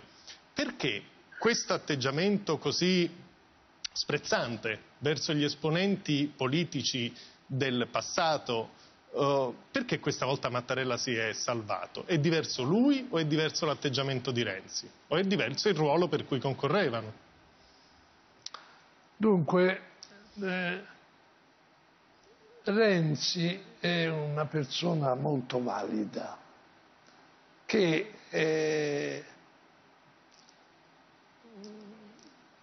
ha fatto carriera nel, nel durante, una carriera molto veloce, perché lui è stato sindaco di Firenze, questo l'unico incarico precedente. Ora non ricordo se è stato pure alla provincia. Presidente della provincia. Ecco, presidente della provincia e poi di Firenze. Non- Non è un cursus, no? No. eh. una carriera amministrativa, non proprio politica. Ecco. Allora, la- la- l'apprendistato di Renzi comincia quando lui, che evidentemente aveva una passione politica dentro di sé, comincia a fare apprendistato presentandosi alle primarie contro Berlusconi e perdendole. Contro Bersani. Contro Bersani, scusa, cominciano per B. No, poi contro Berlusconi bisogna, per- bisogna vederlo ancora. per, per attenuare l'errore compiuto. Ecco. Allora, eh, allora, lì, dopo la sconfitta, lui fa, ha un comportamento perfetto, è, è un apprendistato, cioè lui si schiera con Bersani, Eh, va alle riunioni, no? Fa l'uomo di partito. fa l'uomo di partito, ma non per vendicarsi. Ecco. Dopodiché, alla seconda elezione delle primarie, che avviene mi pare un anno dopo, eh, do- con un Bersani am- molto ammaccato, eh, lui stravince Ecco. e diventa segretario del partito. Come segretario del partito è ancora molto, come dire, libertino intellettualmente parlando. Ecco. Perché lui, per fortuna, è il figlio buono di Berlusconi. Cioè, su quello dice- non cede, Ma, diciamo. ma- ma non ha cedimenti. Sì, ma quello che, quello che lo distingue da Berlusconi è che lui, perlomeno per quanto se ne sa, il bunga bunga non l'ha mai fatto e credo che mai lo farà. Quindi questo è già una garanzia. È già un passo avanti. Eh beh, eh, però faceva queste siccome la sua parola era di rottamare, a questi qui li prendeva tutti schiaffi, in giro. però, sì. ecco. Salvo l'ultimo che io ho notato chi era. Enrico Letta Ecco. ha detto dobbiamo uscire dalla palude, è un Ecco. concetto politico se Sì, non no, altro. no, sì. con gli altri eh, ha cambiato Sì. eh, posizione. Ah, ora li tratta bene, diciamo. Beh, la Finocchiaro era potenzialmente uno dei candidati, così pure Franceschini. Veltroni gli, da- gli avrebbe dato ombra. Perché è un altro che piace alla gente, che sa Cioè, gestire è il proprio che ha ruolo. una cultura e insomma ha fatto dei bellissimi film. eh. Io ho visto l'ultimo che andrà in scena il 23 aprile sui bambini, che è un capolavoro. Quindi ha altre chiavi di comunicazione, fa diciamo, non è un non politico. perché avrebbe dato addosso a Renzi, ma perché è una figura giovane di anni ed, eh, Quindi secondo lei è una maturazione di Renzi, è più consapevole del proprio ruolo e può Sì. permettersi di convivere con le figure Sì, del passato. sì, salvo Letta che non Che ancora gli fa un po'... Sì, no, no, sono tutte e due non, Insomma, sono in competizione volendo. non in competizione. Letta ormai non è in competizione con Renzi, ma in competizione con Renzi oggi non c'è nessuno. Senta, lei sa, i prossimi giorni, cartello 7, eh, il dibattito politico sarà molto centrato dal decreto fiscale. I reati fiscali, c'è la soglia di non punibilità di cui si discute.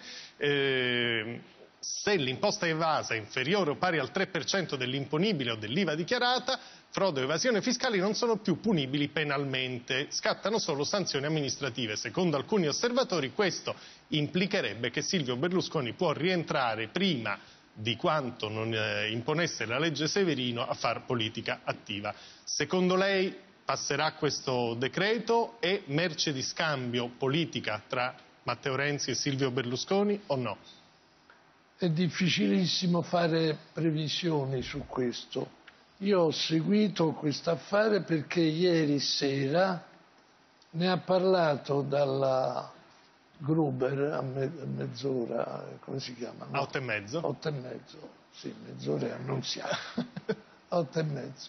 Allora io ho seguito Del Rio che è stato interrogato eh, dalla Gruber proprio su questo. Sì, questa sera ne ha parlato anche la ministro Boschi da noi, sì. Eh, ecco. Insomma, Ah, ecco, allora.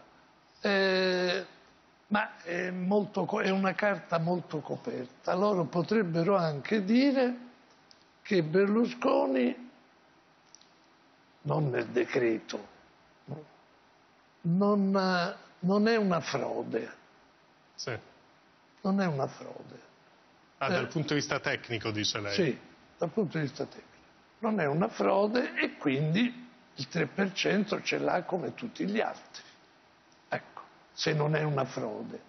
Oppure non dirlo, ma eh, io non credo che ribassano il 3%. La, Del Rio l'ha detto. Comunque lo possono abbassare fino all'1 e qualcosa No, ma non coprire hanno nessuna Berlusconi. intenzione, Non come serve, ha detto certo. Del Rio.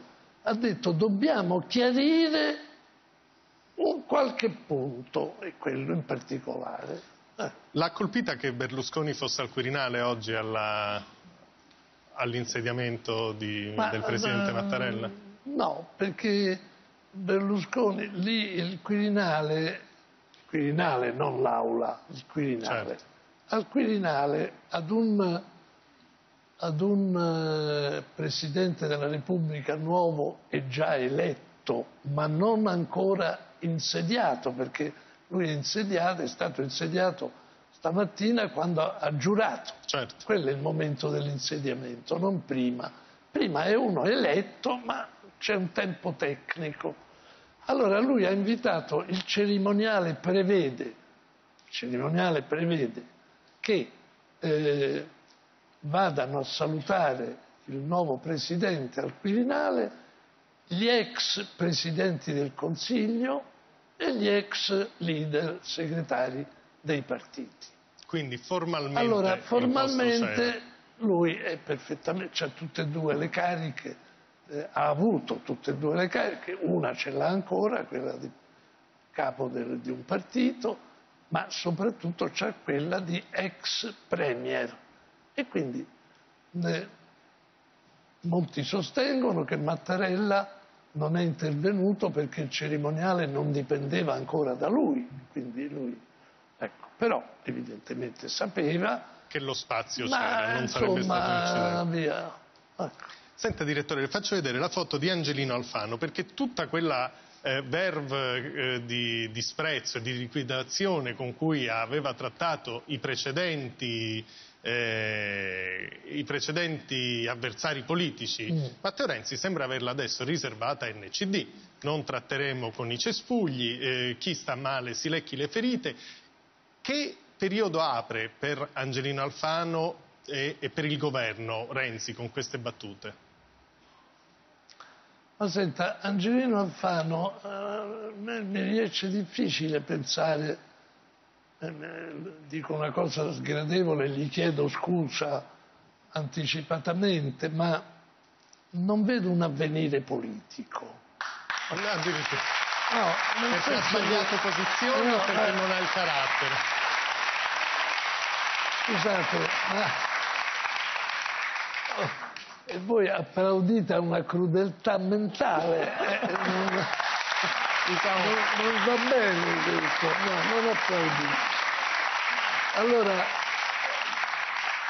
allora... Quando un partito prende pochi voti poi si sente anche negli applausi. Eh... Però magari ha ragione lui, ecco, questo va detto, la verità non necessariamente è democratica, magari lui ha ragione e qua non l'ha capito nessuno. Però fatto sta che stiamo... No, così. io dico che le, le, le, vicende, insomma, lui ha pochi voti, ha mm. pochi elettori, avrà oscilla tra il 3 e il 4%. Ecco. Sì. E non mi pare che abbia le, le, carte e neanche il temperamento, non è un trascinatore di folle. Ecco, i trascinatori di folle hanno un altro atteggiamento. Ecco.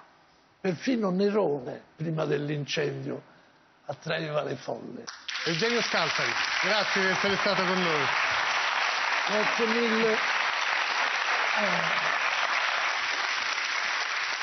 Allora, come ci muoviamo adesso? Oh, manca la parte economica, manca il capire quale sarà la prospettiva entro cui si muoverà il governo Renzi e di meglio che chiamare il responsabile esecutivo del Fondo Monetario per l'Italia e per la Grecia non abbiamo immaginato. Considerate che Carlo Cottarelli, che era anche quello che ha lasciato un rapporto sulla spending review che è scomparso, nessuno sa più dove si trova, se chiami alla Presidenza del Consiglio ti dicono Cottarelli lavorava all'economia, se chiami all'economia ti dicono no, lavorava alla Presidenza del Consiglio, che fine ha fatto la spending review ce lo sta per venire a dire Carlo Cottarelli. Prima Felicia Mammone ci dice come spendono gli italiani. Facciamo i conti in tasca agli italiani. In tema di ricchezza la Sardegna è la più piccola. Qui i contribuenti tra conti correnti, depositi, fondi e titoli hanno circa 13.764 euro pro capite. Paperon de Paperoni i Lombardi con 41.570 euro. Gli abitanti della Lombardia non amano però rinunciare alle vacanze, solo il 38,5% di loro non si è mai concesso una pausa. Alto invece lo spirito di sacrificio dei calabresi, volenti o nolenti ben l'84,4% di loro nel 2013 ha detto no alle ferie. Restando sul fronte dei consumi, vediamo la richiesta dei finanziamenti. Al primo posto gli umbri, che si indebitano ad esempio per comprare il frigorifero, la televisione e l'automobile, chiedendo in media 5.490 euro. Poco propensi al pagherò sono invece i siciliani, ultimi con 3.553 euro. La Sicilia si fa grande invece per il numero di auto a famiglia. Il 55,5% ne possiede almeno una, mentre la presenza delle quattro ruote diminuisce sensibilmente in Molise, all'ultimo posto con il 39,3%. Le Marche si ingrandiscono perché il 40,3% delle famiglie può permettersi due o più macchine. La Liguria invece si fa piccola, solo il 16,2% dei cittadini possiede più di due auto, confermando forse un po' la nomea di popolo parsimonioso.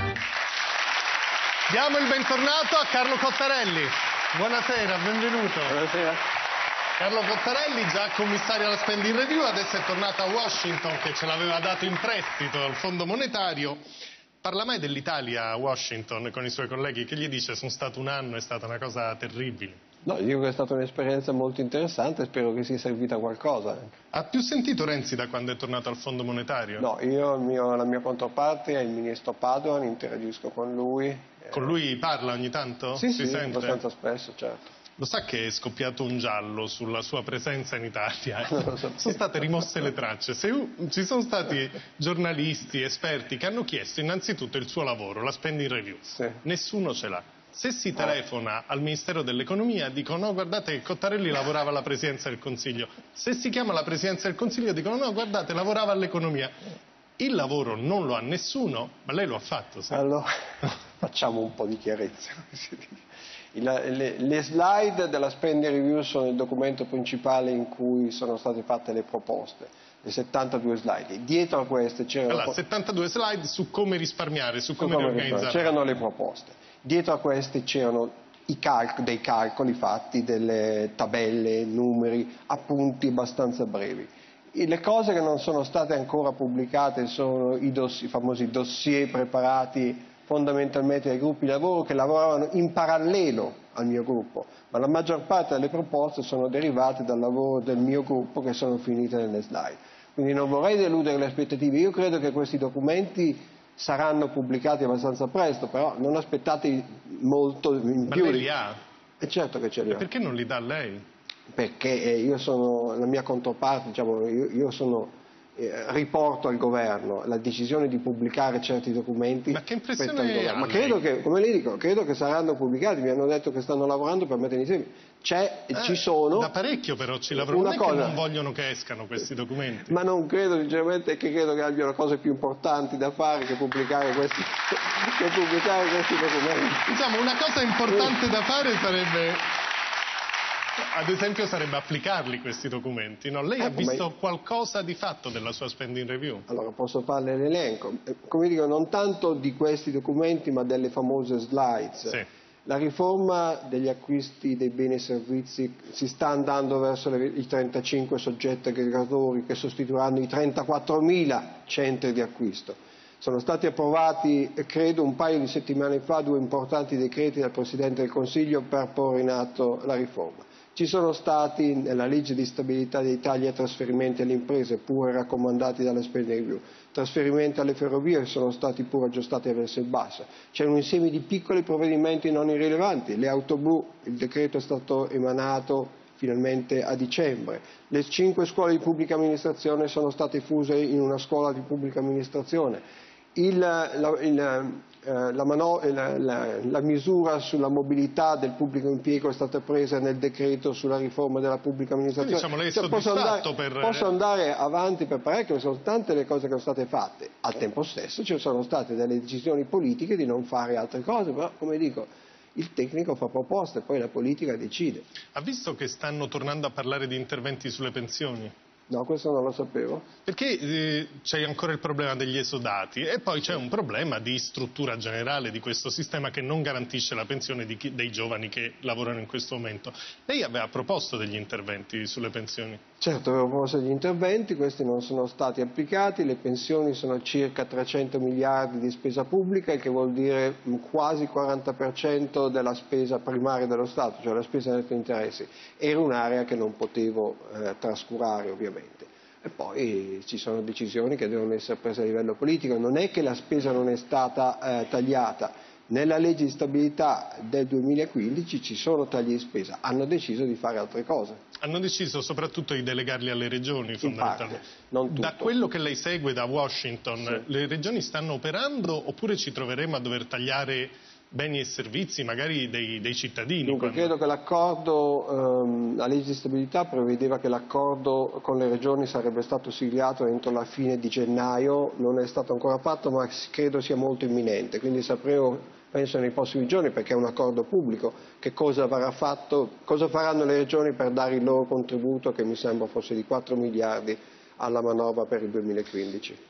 Si ricorda quanto dibattito favorevole sollevò la sua ipotesi di abolire le municipalizzate? Erano 8.000 sì. mi pare su cui intervenire. O più, su quello che si è 8.000 o più. Eh, su quello non si è fatto nulla, vero? No, quello è finito nel, nel, nel disegno di legge delega per la riforma della pubblica amministrazione, è previsto che è in Parlamento. Credo che la discussione del disegno di legge delega sia iniziata oggi, quindi non è che il governo l'ha dimenticato, hanno usato questo strumento. Certo, forse si poteva andare più rapidamente, però la riforma non è stata dimenticata. Poi c'è sempre la paura delle famose clausole di salvaguardia, certo. che vengono messe alla fine di ogni manovra finanziaria per certo. dare delle immagini semplici e dice se tutto quello che facciamo poi certo. non ha effetti possono aumentare l'IVA, l'accise, sì. Stanno per scattare forse quelle del Dunque, passato? Dunque io credo che per il 2015 non ci sia bisogno. Eh, per il 2016 eh, ci sarà la necessità di trovare ulteriori risparmi di spesa per evitare che scattino le clausole per il 2016, il che vuol dire che nei prossimi mesi il lavoro sulla revisione della spesa dovrà continuare. Carlo Cottarelli, nostro ospite di martedì, grazie, grazie davvero. Grazie per a me, bocca al lupo, buon lavoro. E ci vediamo martedì. Ale.